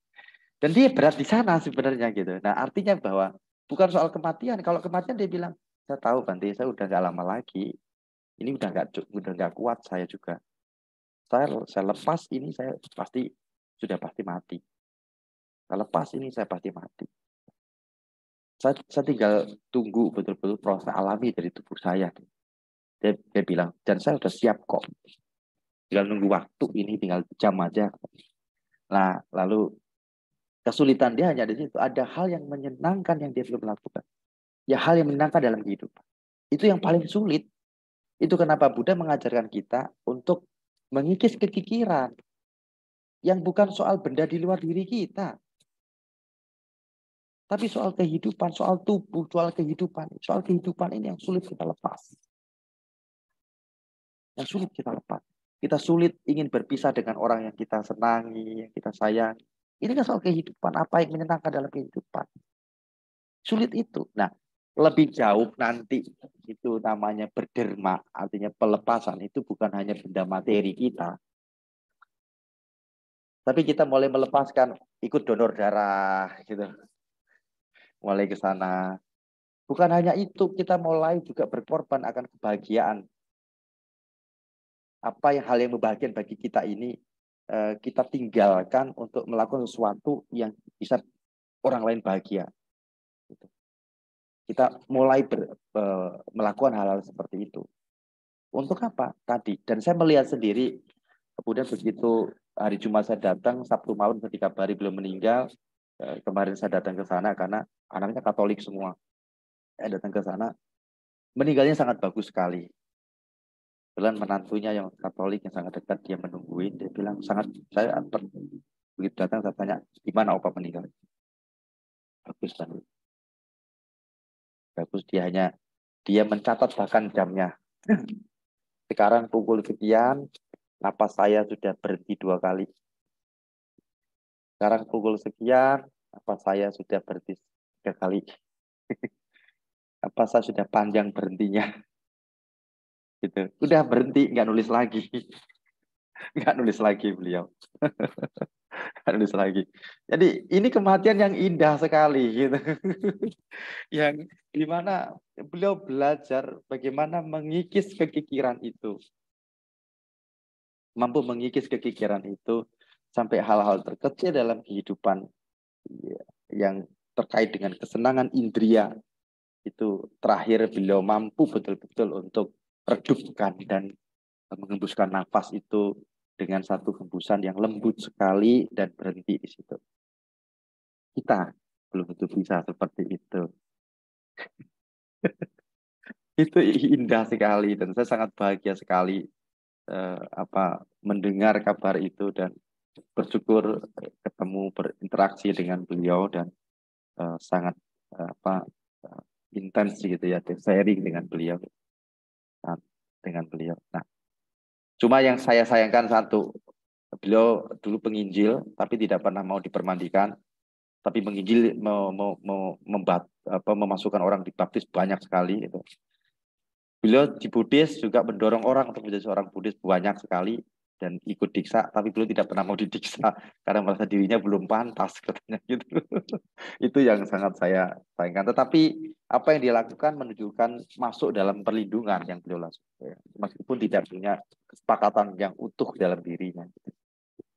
Itu yang sedikit saya sayangkan dalam merayu dari dulu nggak bisa Oke, itu segala cerita untuk menambahkan tadi bagaimana uh, latihan dalam melepas tadi dan upaya yang harus dilakukan kemudian bahwa itu kita nggak sendiri juga sebenarnya terjadi seperti itu gitu kan dengan semua dan pentingnya kita melatih kedermawanan seperti itu Baik, baik Bante. Terima kasih Bante. Wah, saya terpesona dengan cerita Bante. Kalau misalnya orang bisa mengetahui saat-saat dia ingin meninggal, bisa mengondisikan batinnya ke uh, pikirannya pikiran yang baik itu bisa mengondisikan terakhir di alam bahagia jadinya Bante ya. Iya. Iya. Kalau seperti itu kan perlu latihan Bante. Kenali, hmm. kenali kematian. Beliau sering kali diskusi dengan saya tentang kematian. Bagaimana orang mati, apa yang dilakukan, uh, kehidupan setelah kematian, kelahiran di alam-alam itu seperti apa dan bagaimana. Sehingga beliau tidak takut sekali sama sekali dengan kematian. Orang takut itu kan karena ia tidak punya cukup pengetahuan tentang kematian. Salah satunya itu tentunya gitu kan. Selain kelekatan terhadap yang menyenangkan dalam hidupnya gitu. Benar Bante. Kalaupun sering melakukan perbuatan baik, tapi kalau misalnya mengingat kematian yang terasa itu kelekatan. Kelekatan kepada siapa? Terutama kelekatan kepada anak Bante. ini yang harus di wah mesti belajar belajar mengenali maka empat kebenaran mulia mengajarkan kita tentang itu sebenarnya kan kenapa tentang kelahiran apa bahaya kelahiran keberuntungan dalam kelahiran apa konsekuensinya dari kelahiran itu apa ini harus dipahami maka dalam kebenaran pertama 12 duka itu harus dipahami dan yang di, di, selalu dalam berbagai macam tradisi mengupas sempat kebenaran mulia itu diawali dari kelahiran. Yang tekankan tentang bahaya eh, apa keberuntungan dan bagaimana memanfaatkan lalu bahayanya kematian itu terus yang ditekankan. Itu terus yang ditekankan. Karena itu yang memang kita sedang hadapi. Sekarang pun kita sedang menuju kematian masalahnya. Kapan? Bisa nanti malam loh. Berapa di, di, di kelas di apa seperti beliau ini baru kemarin baru ngobrol begitu dan mempersiapkan begitu meninggal. Dulu di kelas KDAB kami baru malam diskusi dan tanya bagaimana menghadap menata batin ketika untuk untuk apa ketika menjelang kematian. Diskusi itu dan saya ingatkan ini kita sedang menuju kematian loh ya. Besok jam 8 saya dikabari dia meninggal dunia. Baru yang Bante meninggal yang di NTB tanggal 30 saya undang tempat saya yang di Bali. Baru ngobrol umur usia berapa? 35. Yuk hitung-hitungan. Ini rata-rata orang meninggal 50 sampai 60 loh sekarang. Coba lihat di rumah duka, 70 sulit sekali. Tapi ini subjektif ya saya bilang. Subjektif ini, ini kan pengamatan saya. Usia kamu berapa? 35 Bante. Nah, sisanya tinggal berapa tuh? Kamu udah lakukan apa? Apa yang udah kamu lakukan? Pengetahuan apa untuk kamu nyiap mati? kalau saya nih usia 40, kalau saya mati paling lama 60, saya tinggal 20 tahun lagi loh. Saya harus siapkan 20 tahun ini untuk saya eh, betul-betul uh, ada waktu untuk diri saya. 20 tahun itu sebentar. Kalau 20 tahun, kalau mati saya 50 tahun, berarti tinggal 10 tahun lagi saya mati. apa yang harus apa yang sudah saya miliki untuk untuk menjaga batin ini. Nah, kalau Anda yang sekarang usia sudah lebih 40, ya tinggal dihitung aja. Banyak-banyaklah belajar, banyaklah berbuat baik dengan dengan tentu harapan gitu. Kalaupun kita masih belum cukup dalam kualitas menjaga batin, kita punya usia panjang yang cukup untuk belajar dhamma. Gitu. Seperti beliau usianya 72, eh 70. Eh 80 beliau usianya. Usia sionya 80. Itu 79 tuh ya. 79.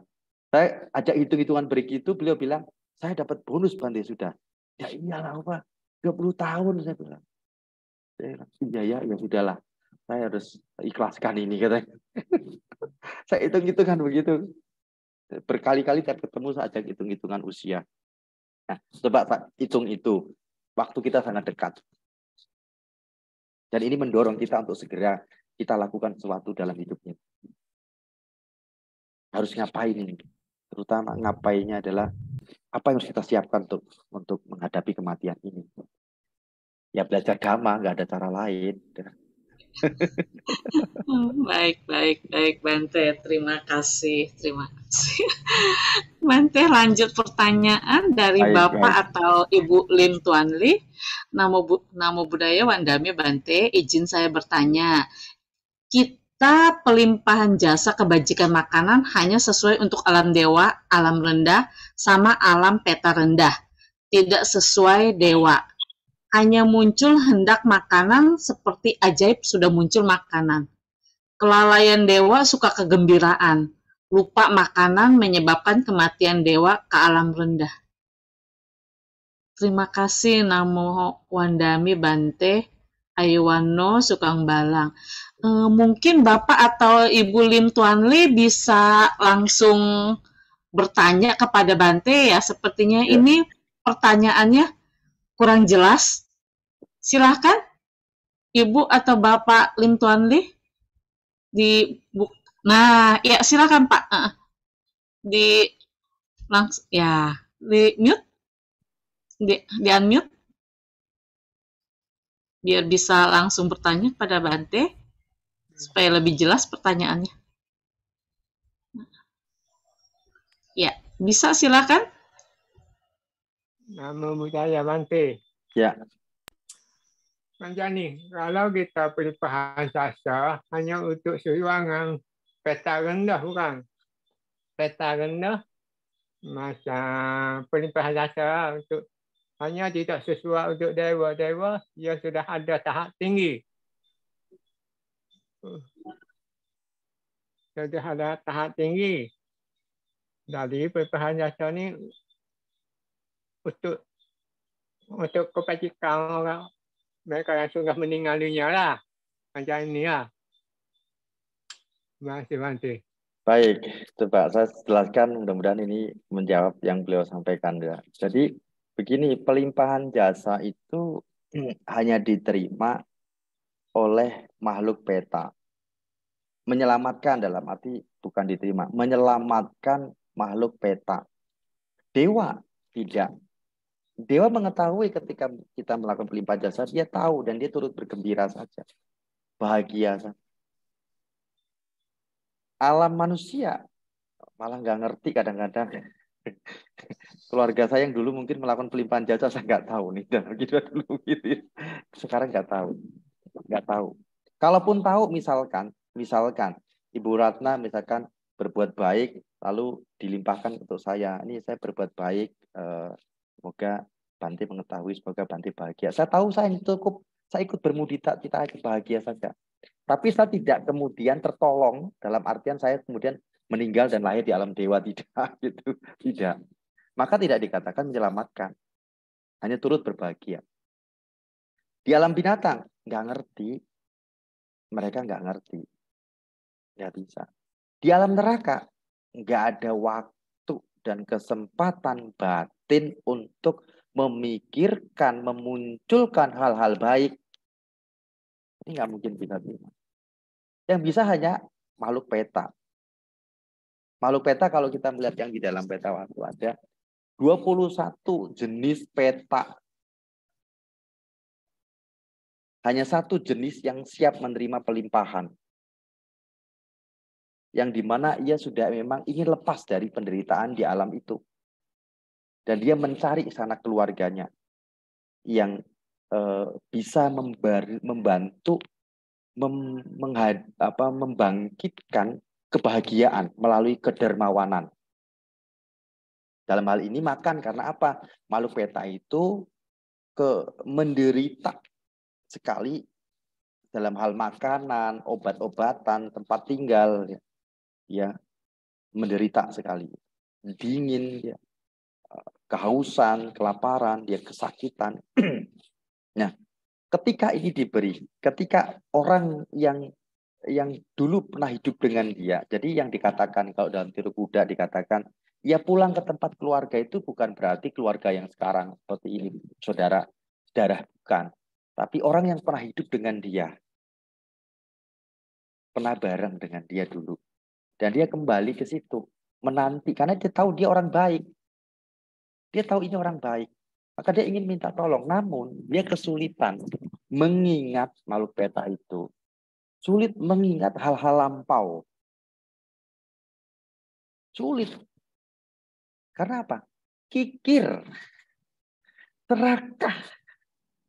Tidak punya kemauan untuk berbagi. Sehingga dia sulit sekali mengingat hal-hal baik. Sulit sekali. Sulit sekali. Sangat sulit sekali. Nah, ketika kemudian orang ber, ketika kemudian keluarganya itu berbuat baik, Ya, kalau dalam Buddha diajarkan ketika kita menyerahkan makanan itu, kita langsung renungkan. Idang punya tinang itu sukita tahu. Semoga kebahagiaan ini diketahui sana keluarga. Yang maksudnya para mendiang tadi. Karena dia sudah menanti. Semoga ke eh, kebahagiaan ini menjadi miliknya, harus diperuntukkan.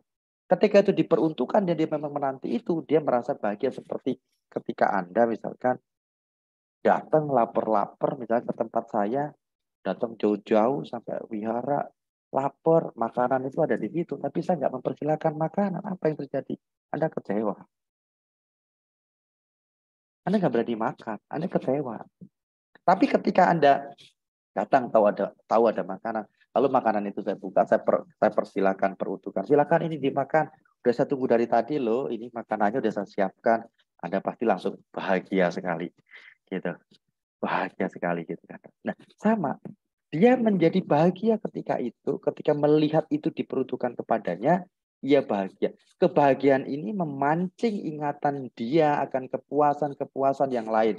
Maka ketika dia melihat makanan itu, dia terpuaskan dari makanan, dia melihat pakaian dia diberikan, dia terpuaskan dari uh, kedinginan yang dia rasakan, penderitaan dari dingin dan tanpa pakaian yang dia rasakan. Ketika dia kemudian uh, melihat uh, obat-obatan, dia akan terpuaskan, terbebas dan terpuaskan dari kesakitan dan kemudian ketika dia melihat tempat tinggal, dia akan terpuaskan dengan tempat tinggal. Di situlah dia muncul dalam bentuk tubuh dewa itu dengan segala bentuk kebutuh ke apa kesejahteraan yang dia miliki. Maka itu dikatakan kenapa pelimpahan jasa dikatakan menolong. Kalau dalam Sanskritnya dalam Ulambana Patra dikatakan Ulambana menyelamatkan artinya menyelamatkan. Menyelamatkan mereka di alam peta gitu. di alam dewa nggak bisa. Nah di alam dewa itu menikmati buah-buah kebajikan yang dia miliki. Dia jatuh kadang-kadang bukan karena soal dia itu makan itu bukan, tapi karena kemelekatan terhadap kesenangan dan kenikmatan yang ada di alam dia, dia tidak ingin lepas dari itu. Ini membuat ia bisa jatuh ke alam yang rendah. Dan muncul kesombongan di dalam dirinya. Karena kemudahan dalam kenikmatan indrianya itu dari kebajikan yang dia miliki. Ini yang menyebabkan ia jatuh. Gitu. Nah, seperti itu Pak Lim Tuan Lim. Dan ini menjawab. Ya, terima kasih. Ya, terima kasih Bante. Ya. Ada pertanyaan lagi Bante. Apa ya. yang harus kita lakukan atau latih supaya tidak merasa takut berada di tempat-tempat yang ada yaka? Bagaimana Bante? Silakan. Yakini, yakini yang pertama itu harus diyakini memang di situ ada yakanya. Dan yakini bahwa yaka itu baik gitu loh. Dah yakini yaka itu baik gitu. Dan yakini Anda punya kebajikan yang pasti melindungi Anda. Gitu. Yang pasti melindungi Anda. Nah, jadi itu harus diyakini, jangan nanti di situ yakin sama enggak ada yakanya malah Anda ketakutan enggak jelas kan gitu. malah ketakutan enggak jelas. Jadi yakini kalau memang di situ ada yakanya. Namun jika tidak ada, yakini memang di situ tidak ada. Nanti nggak ada jangan diyakini ada. Nah maka artinya begini, jangan terjebak dengan ilusi batin kita. Karena kebanyakan yang menakutkan itu bukan yang di luar diri kita, malah batin ini loh. Nggak ada, diyakini ada. gitu. Lalu yang muncul yang di film-film itu. ini yang berbahaya sekali. Gitu. Yang sangat berbahaya sekali ini. Yang sangat berbahaya sekali ini. Nah, Eh, maka yakini kalau memang ada. Bagaimana meyakini kalau ada? Jangan melihatnya, oh sekilas tadi. Waktu saya lagi melihat ke sana ada bayangan. Jangan seperti itu. Meyakini oh, ada bayangan ya dilihat ada benar enggak. Begitu lihat mata enggak ada ya berarti memang enggak ada. Yakini kalau dia enggak ada. Jangan kemudian tadi waktu pejam mata dia muncul Bante. Yaitu namanya ada di pikiran. Tadi waktu saya menghadap ke sana, Bante, dia seperti jalan di belakang saya. Ya itu kan perasaan sendiri karena pikirannya yang bermain gitu. Yang paling gampang lihat ke belakang kalau emang dia ada di belakang. Ada nggak di belakang gitu. Kalau ada, ya udah yakini ada. Dan itu yang paling menyenangkan sebenarnya. Untuk melatih keberanian tadi, melatih keberanian itu. Seperti itu, nggak ada cara lain. Gitu. Saya kasih contoh ya cerita orang Jakarta pergi ke Papua di Sorong. Ada orang Sorong nggak di sini? Lalu di sana ya eh, tiap malam dia merasa terganggu. Dia kayak diteror. Dia merasa horor. Yang biasanya di rumah tidak seperti itu. Dan itu sudah terjadi selama tiga bulan. Lalu dia tanya tuh sama orang pintar yang menurutnya pintar yang orang di situ. Oh, gambaran yang dikatakan di tempat ini, tempat ini, tempat ini, gambarannya seperti orang Papua. Karena dia orang Papua. Begitu dia pergi ke Jakarta, dia tanya dengan yang di Jakarta, yang kebetulan ditanya itu orang Tionghoa. Gambaran hantunya ya gambaran hantu-hantu orang-orang Tionghoa. Saya ngomong ke dia, kamu analisa lagi, bener nggak? Berarti dua orang ini bukan orang pinter, orang bodoh. yang terjebak dalam imajinasi mereka.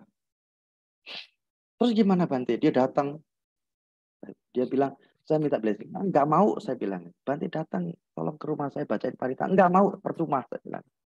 Karena yang horor itu bukan rumah, batinmu. Saya tanya kamu, seminggu kemarin kamu ngapain? Ya, telinga, Ngapain kamu? Siang ngapain? Pagi ngapain? Malam ngapain? Iya, Bante saya minggu seminggu ini lagi senang nonton film. Film apa? Horor. Udah berapa lama? Ya tiga bulanan ini. nah, saya langsung ngomong, pasti hantunya ada di tangga, ada di pintu, ada di toilet. Iya.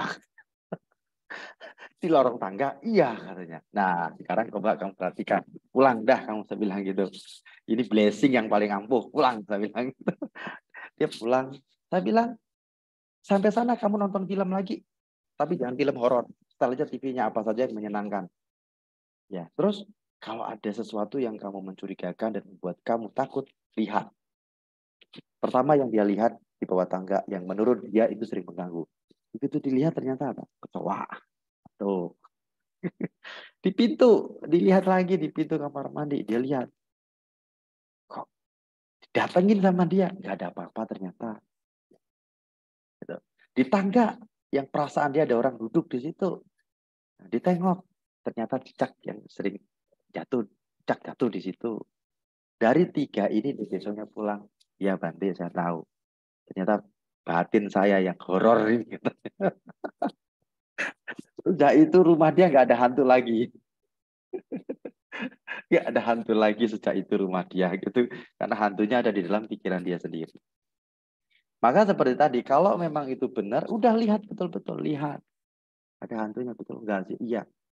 Oh iya itu goyang begini. Ya, lihat betul-betul goyang memang gitu. Lihat ada malunya ya memang lihat. Jangan dalam pencemata. Maka tadi gitu, yakin gitu jangan meyakini sesuatu yang dalam pikiran kita. Apalagi hal horor menakutkan gitu. Kalau di situ ada memang kita melihat langsung yakini dia ada.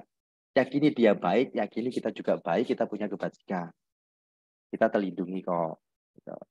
Dan yang berikutnya, kalau di situ nggak ada, yakini tidak ada. Jangan diyakinkan dia ada. gitu. Begitu cara melatih keberanian di kegelapan dan hal yang menakutkan.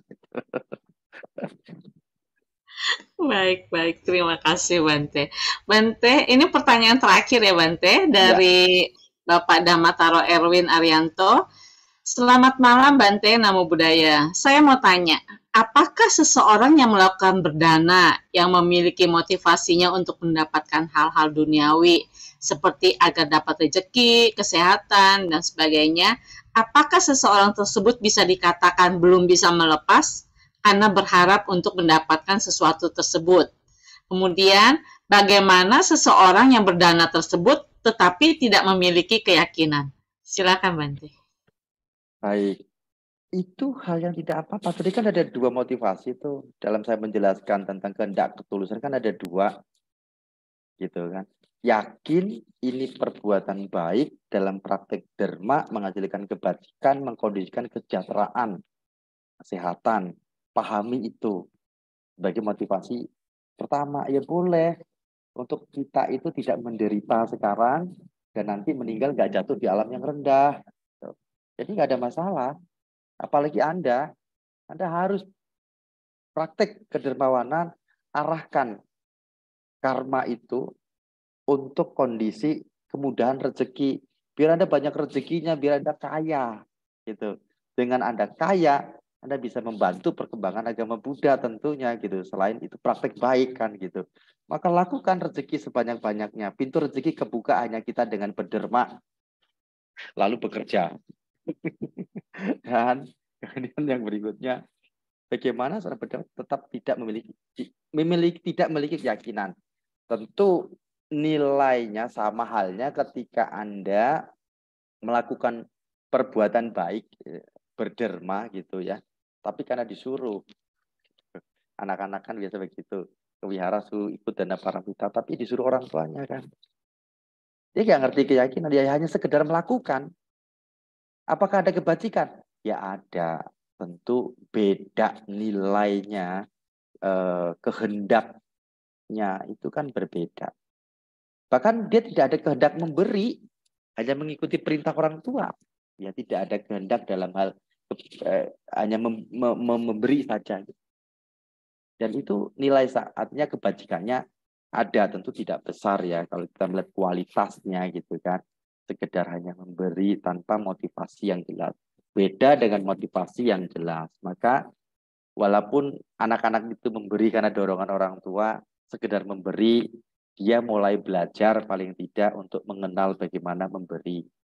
Ini nilai bajik yang dia dapatkan pengalaman baik yang dia miliki. dari sini itu akan membantu dia untuk tumbuh dalam kedermawanan. Nah, yang kemudian dari sisi kebajikan tentu meskipun hanya pemberian seperti ini tentu memiliki nilai yang mengkondisikan ia untuk mudah nanti memberikan kebaikan lagi. Ini kan bentuk kesejahteraan juga. Ada nilainya bukan tidak. Seperti itu. Terima kasih. Baik, terima kasih Bante untuk penjelasannya dan juga jawaban-jawaban dari pertanyaan yang sudah diberikan sangat bermanfaat. Ya, memang ini menjadi uh, tambahan pengetahuan bagi kami semua dan juga bisa kami praktikan dalam kehidupan sehari-hari. Ya, Bante ya seperti yang tadi dikatakan, jadikan kedermawanan uh, sebagai karakter yang baik. Terima kasih Bante. Ya, uh, untuk terakhir kali mungkin Bante ada pesan untuk kami?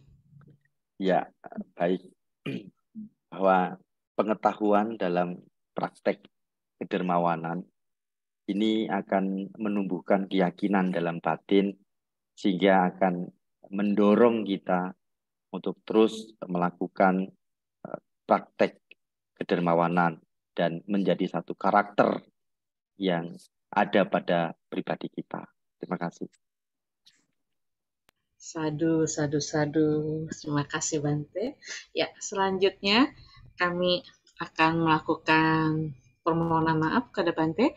Silakan Cilusi.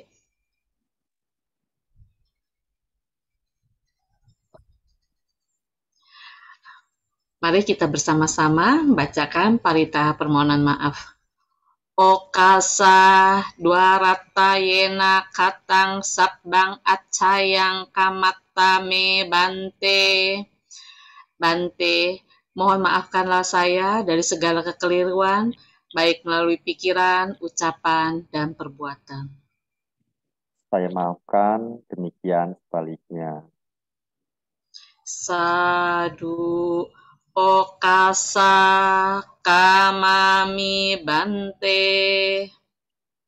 Baik, saya juga memaafkan hati.